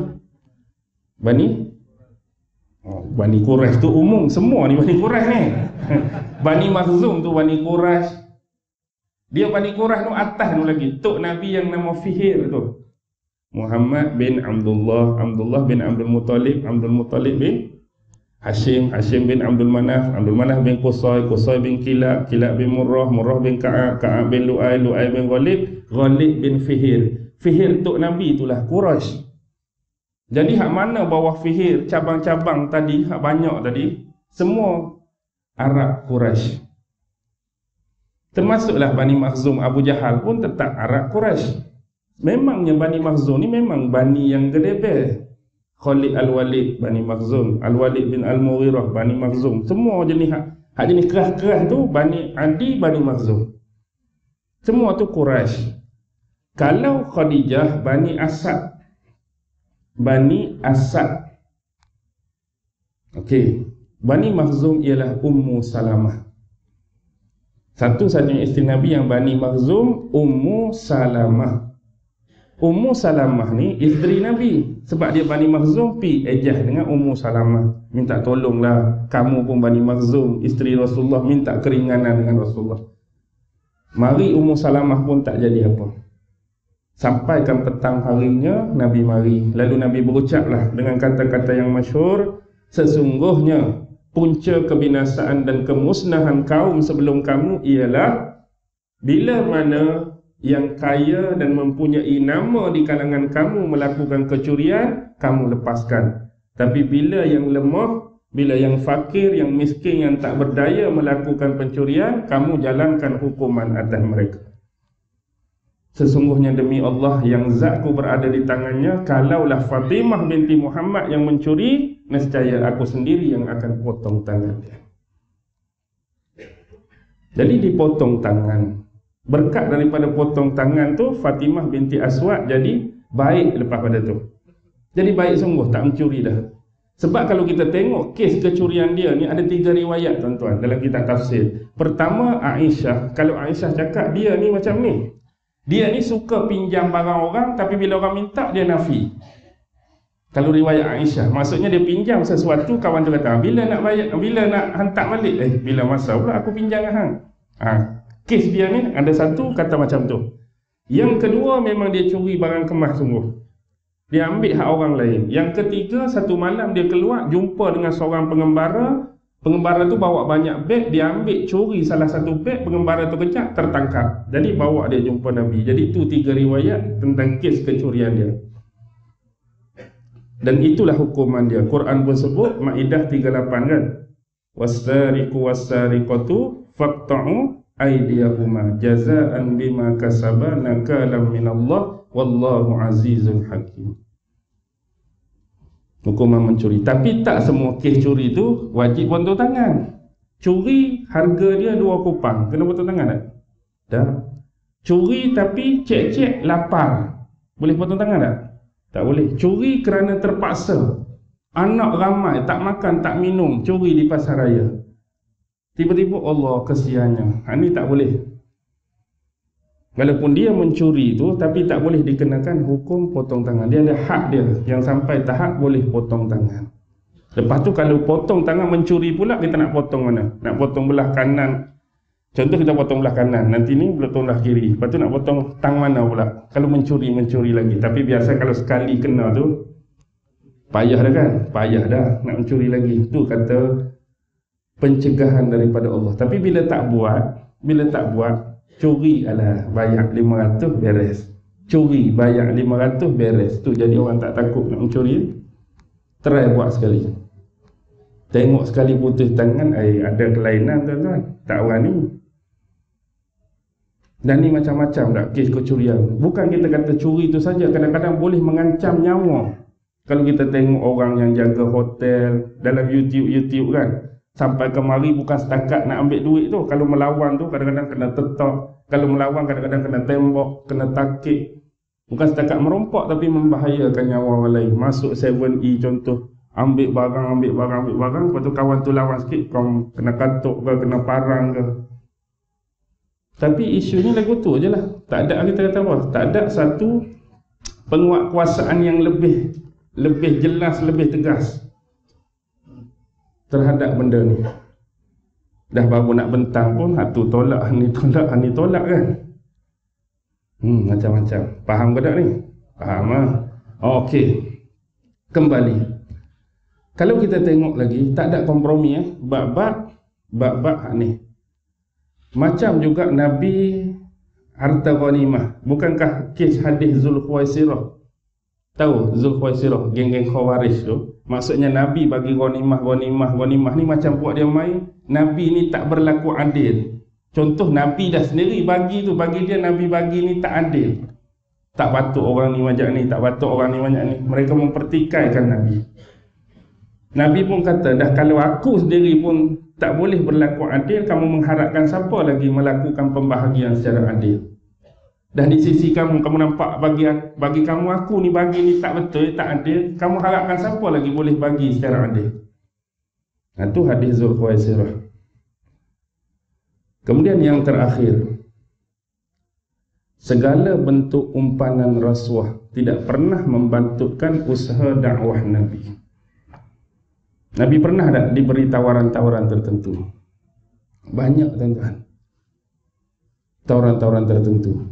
Ada satu kisah dalam surah Isra ayat 90 ayat 93 tuan-tuan bacalah dia punya tafsir. Satu hari waktu matahari nak terbenam berkumpul golongan-golongan elit Mekah. Utbah bin Rabi'ah, Syaibah bin Rabi'ah, Abu Sufyan bin Harb, Abu Bukhturi, Zam'ah bin Al-Aswad, Umayyah bin Khalaf Nabih dan Munabih Ibnu Hajjaj daripada Bani Sahmin Kemudian tuan kepada Bilal siapa? Umayyah bin Khalaf. Kemudian ni Bani Makhzum. Sayyidina ah, Sayyidina tak ya Sayyidina lah Abu Jahal. Abu Jahal Amru bin Hisham banyak. Abdullah bin Abi Umayyah sepupu Nabi. Okey. Salah satu tu yang paling kuat menentang Nabi ialah Abu Sufyan bin Abu Sufyan bin apa? Yang menentang Nabi? Abu Sufyan bin Harb. Abu Sufyan bin Harb ni bukan nama dia, nama dia Sakhar. Sakhar bin Harb, gelaran dia Abu Sufyan. Dia ni kemudian hari jadi mertua Nabi. Bila dia masuk Islam juga, bila Abu Sufyan masuk Islam? pembukaan kota Mekah lepas tu dia jadi mertua Nabi salah seorang isteri Nabi tu anak dia Romlah binti Abu Sufyan jumpa tak bini nombor berapa Romlah cari. Romlah isteri ke apa pernah jumpa tak isteri Nabi yang nama Romlah binti Abu Sufyan? Pernah, pernah jumpa? Tak ada. Memang payah nak cari nama Romlah. Ummu Habibah. Ha, Ummu Habibah itulah Romlah. Isteri ke 10 ke 10 Nabi. Nombor satu tak kena ni aku cekik eh. Siapa Khadijah. Yang kedua yang paling tua. Di antara isteri Nabi dia yang paling tua. Nabi kahwin dengan dia pun dia dah tua. Anak pun ramai. Um ah, um pula dah. Sa'ud Sa'udah binti Zam'ah. Lepas tu baru anak dara. Aisyah. Yang keempat anak Sayyidina Umar. Eh anak Sayyidina Umar bukan Fatimah. Fatimah anak Nabi. Hafsah. Yang kelima Zainab binti Zainab bini Nabi dua orang. Zainab apa dulu? Zainab binti Khuzaimah dulu. Lepas tu baru yang keenam Ummu Salamah tadi. Yang ketujuh Zainab binti Jahshin sepupu Nabi. Zainab tu sepupu Nabi. Anak mak saudara dia yang nama Umaymah anak mak saudara dia yang nama Umaymah bila sebut mak saudara Nabi mak saudara Nabi berapa orang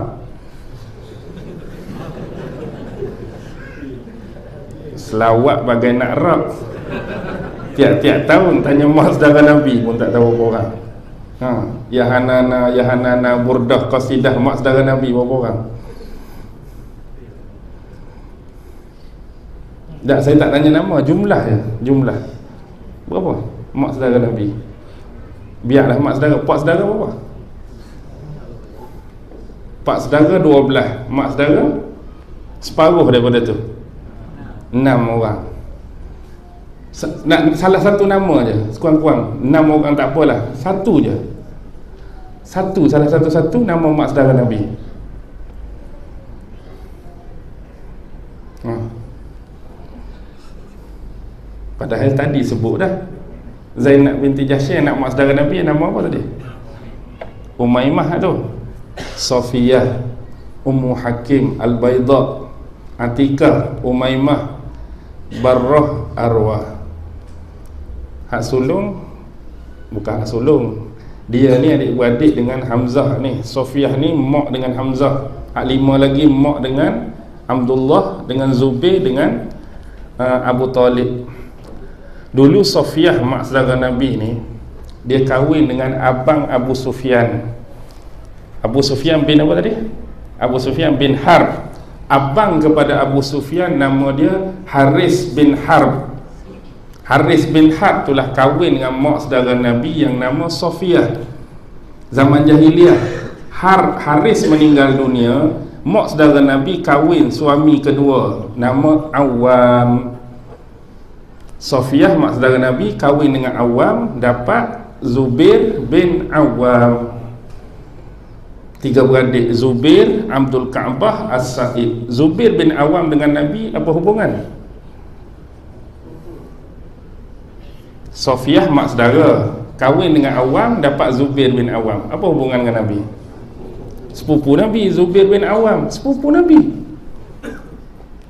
Zubir bin Awam salah seorang sahabat dijamin masuk syurga. Sepupu Nabi itu Zubir bin Awam Zubir bin Awam tu adalah sepupu Nabi. Dia juga adalah anak saudara Nabi.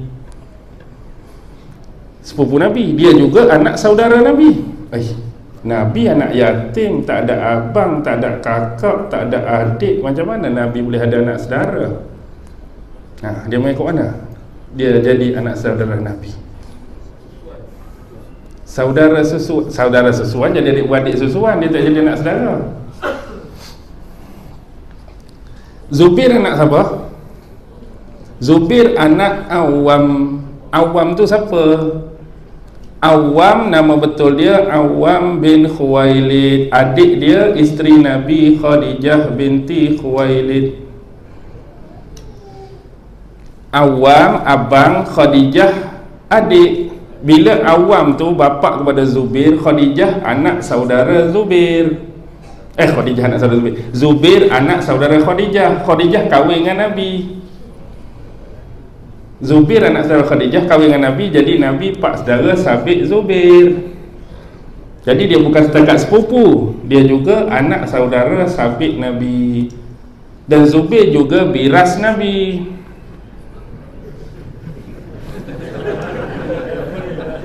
Zubair bin Awam suami kepada Asma binti Abu Bakar. Isteri Nabi adik Asma Aisyah binti Abu Bakar. Isteri Nabi Aisyah Kakak Aisyah Asma. Asma tu isteri Zubair.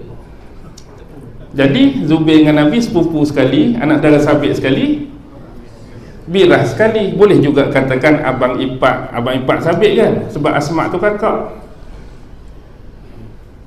pening. Baik.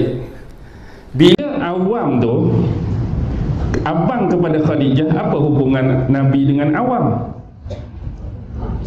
Nabi kahwin dengan Khadijah adik, awam tu abang. Apa hubungan Nabi dengan awam? Abang ipak Nabi awam dalam masa yang sama pak saudara Nabi sebab kahwin dengan mak saudara Nabi Sofiah. Kan Sofiah mak saudara Nabi kahwin dengan awam Sofiah tu mak saudara kahwin dengan awam Satu awam tu jadi pak saudara Satu lagi abang ipak. Lagi pening.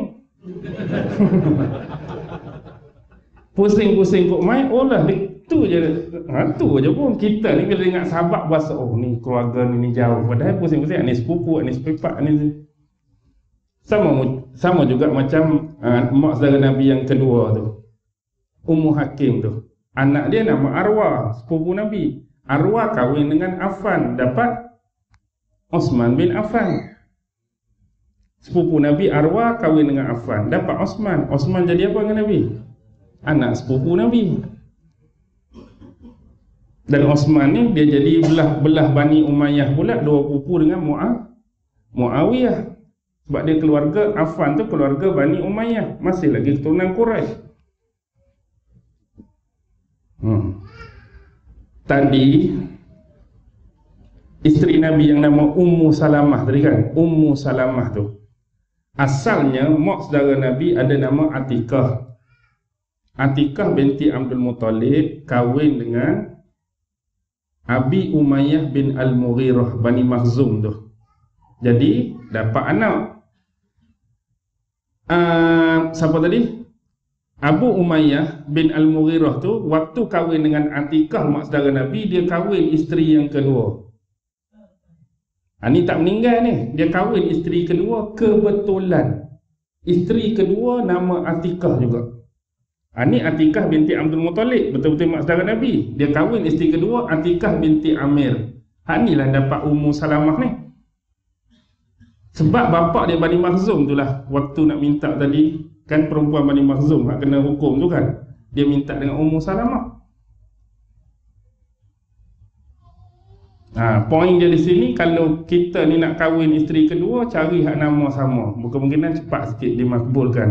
Ha, macam ni kan Atikah ni pun Atikah juga. Hani jadi apa dengan Nabi? Ummu Salamah jadi apa dengan Nabi? Atikah mak saudara Nabi betul. Kahwin dengan Abu Umayyah ada anak dia. Abu Umayyah kahwin dengan bini lain baru dapat Ummu Salamah. Apa hubungan Nabi dengan Ummu Salamah? Tak jadi apa lah kan? Kita sebab dia mak, mak tu. Tapi mak saudara Nabi yang terakhir Barrah ni ada anak nama Abu Salamah sepupu Nabi. Abu Salamah ni lah kahwin dengan Ummu Salamah Abu Salamah sepupu kahwin dengan Ummu Salamah. Abu Salamah meninggal, Nabi kahwin dengan isteri sepupu dia. Nabi kahwin tu dah ada anak Abu Salamah dengan Ummu Salamah, Duras. Kalaulah Ummu Salamah meninggal, Nabi boleh kahwin tak dengan anak tiri dia, Duras tu? Abu Salamah, Ummu Salamah dapat anak Duras. Abu Salamah meninggal, Nabi pun kahwin dengan Ummu Salamah. Ada anak tiri, Duras tadi. Kalau Ummu Salamah meninggal, Nabi boleh kahwin tak dengan anak tiri dia? Kita hari ni kahwin dengan mak, mak mati, anak tiri boleh kahwin tak? Tak boleh kahwin dengan anak tiri. Anak tiri ni bukan anak betul. Kita kahwin dengan seorang perempuan, dia dah ada anak perempuan juga. Kita pun kahwin-kahwin-kahwin, mak ni mati. Boleh tak nak kahwin dengan anak tiri?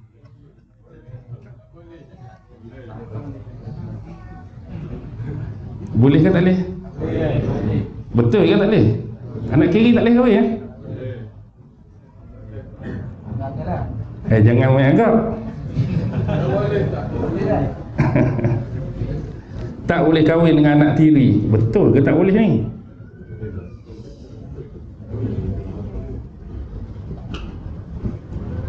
Pasal apa tak boleh? Pasal apa?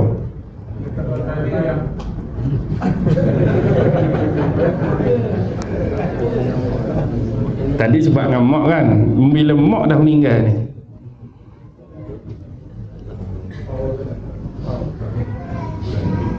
Ha tuan-tuan Siapa ada ilmu fiqh? Tak boleh? Tak boleh. Baik. Kalau boleh ke tak boleh Nabi tetap tak boleh kahwin. Nabi tetap tak boleh kahwin. Bukan sebab apa? Sebab bab Sepupu Nabi tadi Abu Umayyah tu saudara sesusuan Nabi. Maksudnya macam mana pun Dia tetap jadi durus tu Anak kepada saudara sesusuan Nabi. Dia bukan sekadar sepupu dengan Abi Umayyah tu Dia adalah saudara sesusuan. Sama macam Nabi dengan Hamzah. Sebab tu bila anak Hamzah Hamzah wafat Ramai sahabat suruh Nabi kahwin dengan salah seorang anak Hamzah. Anak Hamzah bermaksud sepupu Nabi kan Sepatutnya hukum boleh kahwin dengan sepupu. Boleh. Tapi Nabi kata aku tak boleh. Sebab apa? Nabi dengan Hamzah dulu saudara sesusuan. Jadi dia jadi macam anak saudara lah. Walaupun dia tu senang pak saudara hubungan Tapi dia dah menyusu. Siapa yang susukan Nabi dan Hamzah? Yang susukan Nabi dengan Hamzah Suwaibah al-Aslamiyah. Nabi dengan Abu Umayyah Halimatul Sa'diyah. Hmm, panjang lagi cerita tu tak? Tak betul kalau kalau kita mengaji salah silah dengan nasab ni tuan-tuan boleh tengok dia punya pecahan. Eh, pasal apa tak boleh? Rupanya su. Dia mai sini. Pasal apa tak kenal? Su mai sini. Seruk seruk seruk sembilan setengah ni.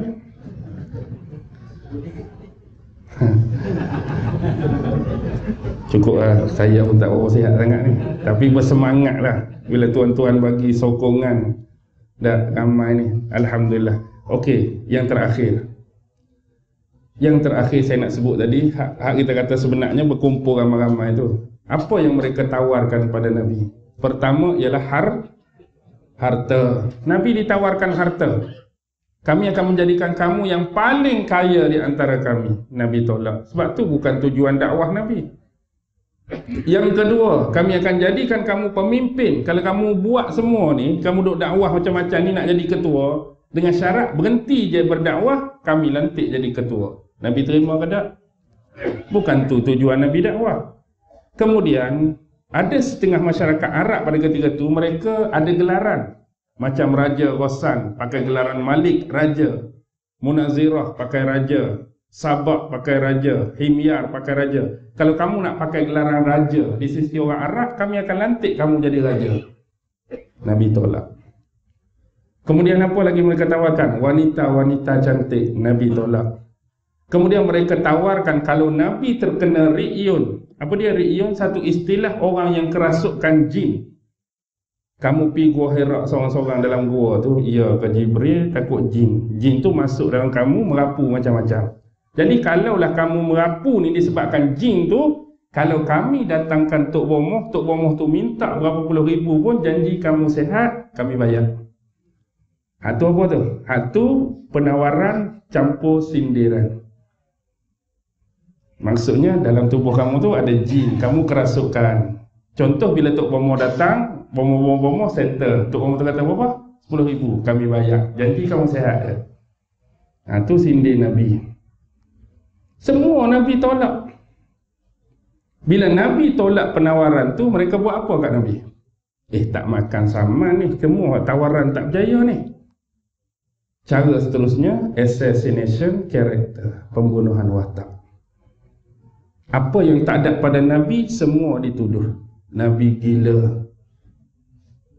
Nabi ni tok nujum Nabi kurang sioman, Nabi tu, Nabi ni, Nabi tu, Nabi ni Satu tuduhan yang semua tu tak ada pada Nabi. Tapi nak suruh jatuh wibawa Nabi Hilang kepercayaan masyarakat pada Nabi Tuduhan tak berhenti. Benda ni berlaku lagi tak sekarang? Berlaku, assassination masih berlaku. Orang yang baik ditohmah, dituduh macam-macam Nak suruh masyarakat hilang kepercayaan pada dia. Tak boleh percaya dia ni. Yang sebenarnya sebaliknya. Yang ni pun tak berjaya Orang tetap pi pada Nabi, tetap ikut dakwah Nabi, apa yang berlaku malam terakhir sebelum Nabi hijrah. Mereka kepung rumah Nabi, nak tangkap Nabi. Lebih jauh, kalau boleh mereka nak bunuh Nabi, tuan-tuan. Perjuangan Nabi bersilang antara hujung mata pedang, nyawa, kehidupan dan kematian. Tapi Nabi terus bertahan kerana turunnya satu ayat pada Nabi, Wallahu ya'simuka minan nas. Aku akan menjaga kamu daripada kejahatan-kejahatan tangan manusia. Berbekalkan ayat ni, Nabi tekad. Apapun, Allah lah yang akan menjaga beliau. Benda ni boleh berlaku pada kita hari ini. Siapa-siapa pun yang memperjuangkan agama Allah akan diberi penawaran. Mungkin janji ustaz berhenti je. Berapa sebulan gaji lah ni kerja cikgu? RM5,000 je ustaz. Ustaz berhenti RM50,000. Relax goyang kaki. Hak jenis kelabu mata ke mana? Oh, alright. Alright. Kuliah pun bukan apa. Letih je. Serabut kepala dah. Ni duk relax RM50,000 setiap bulan. Relax RM50,000. Hak jenis tertarik ambil. Ustaz berhenti. Kalau berhenti apa jawatan hak nak bagi kat aku? Pengarah di syarikat sekian-sekian. Gaji pun boleh tahan Ustaz. Berhenti ke ceramah. Okey. Kalau hak sanggup, ambil. Apa lagi perempuan-perempuan cantik? Oh, marah bini aku lagi. Tapi tak payah. Ataupun hak lain lagi lah. Ikutlah penawaran-penawaran dah. Lepas tu kalau kita tolak, tolak, tolak. Macam-macam lah ada lah. Hak tu, hak ni, hak tu, hak ni, hak tu, hak ni, hak tu, hak ni. Mungkin lebih jauh berlakulah benda yang disebut dalam surah Al-Anfal ayat 30. وَإِذْ يَمْكُرُ بِكَ الَّذِينَ كَفَرُوا لِيُسْبِتُوكَ أَوْ يَقْتُلُوكَ أَوْ يُخْرِجُوكَ وَيَمْكُرُونَ وَيَمْكُرُ اللَّهُ وَاللَّهُ خَيْرُ الْمَاكِرِينَ Dan ingatlah ketika mana golongan-golongan kafir ini merancang sedaya sedaya upaya mereka untuk apa? Allah sebut tiga benda. Liusbituka, mungkin mereka nak penjarakan kamu. Au yaktuluka, mungkin bunuh kamu. Au yukhrijuka, mungkin mengusir kamu daripada tanah air kamu. Mereka boleh buat isu tahan kita, penjarakan kita, mereka boleh bunuh kita ataupun buang daerah ke mana-mana mana-mana mana. Senyapkan kita lah senang. Benda ni boleh berlaku atau tidak? Boleh. Bukan kita orang-orang di dikehendaki oleh depa lah macam kita ni jenis cak ayam je tak ada orang pandang pun. Baik. Benda ni boleh berlaku bagi orang-orang yang memperjuangkan dakwah Rasulullah sallallahu alaihi wasallam. Jadi hari ini saya mengajak diri saya lah mula-mula dan kepada tuan-tuan kita buang jauh-jauh skeptik yang menganggap hak saya sebut di depan tadi dakwah hanya khusus kepada alim ulama tuan-tuan guru. Dakwah berlaku kepada kita semua. Sebab dakwah ni konteks dia mengajak orang lain berbuat kebajikan kerana Allah. Jika Tuhan ada punya niat tersebut, ajaklah sesiapa pun janji ke arah kebaikan kerana Allah bukan paling kepada kita. Itulah dakwah. Jadi marilah sama-sama kita bekerja membantu dakwah yang kesesuaian dia mengikut kemampuan kita. Tak kira di mana kita berada, selagi mana kita mampu untuk tebarkan dakwah dan kebaikan pada orang, teruskanlah moga-moga Allah sentiasa membantu kita menguatkan daya usaha kita memanjangkan umur kita memperteguhkan tali silaturahim dan persaudaraan antara kita sampai ke akhirnya.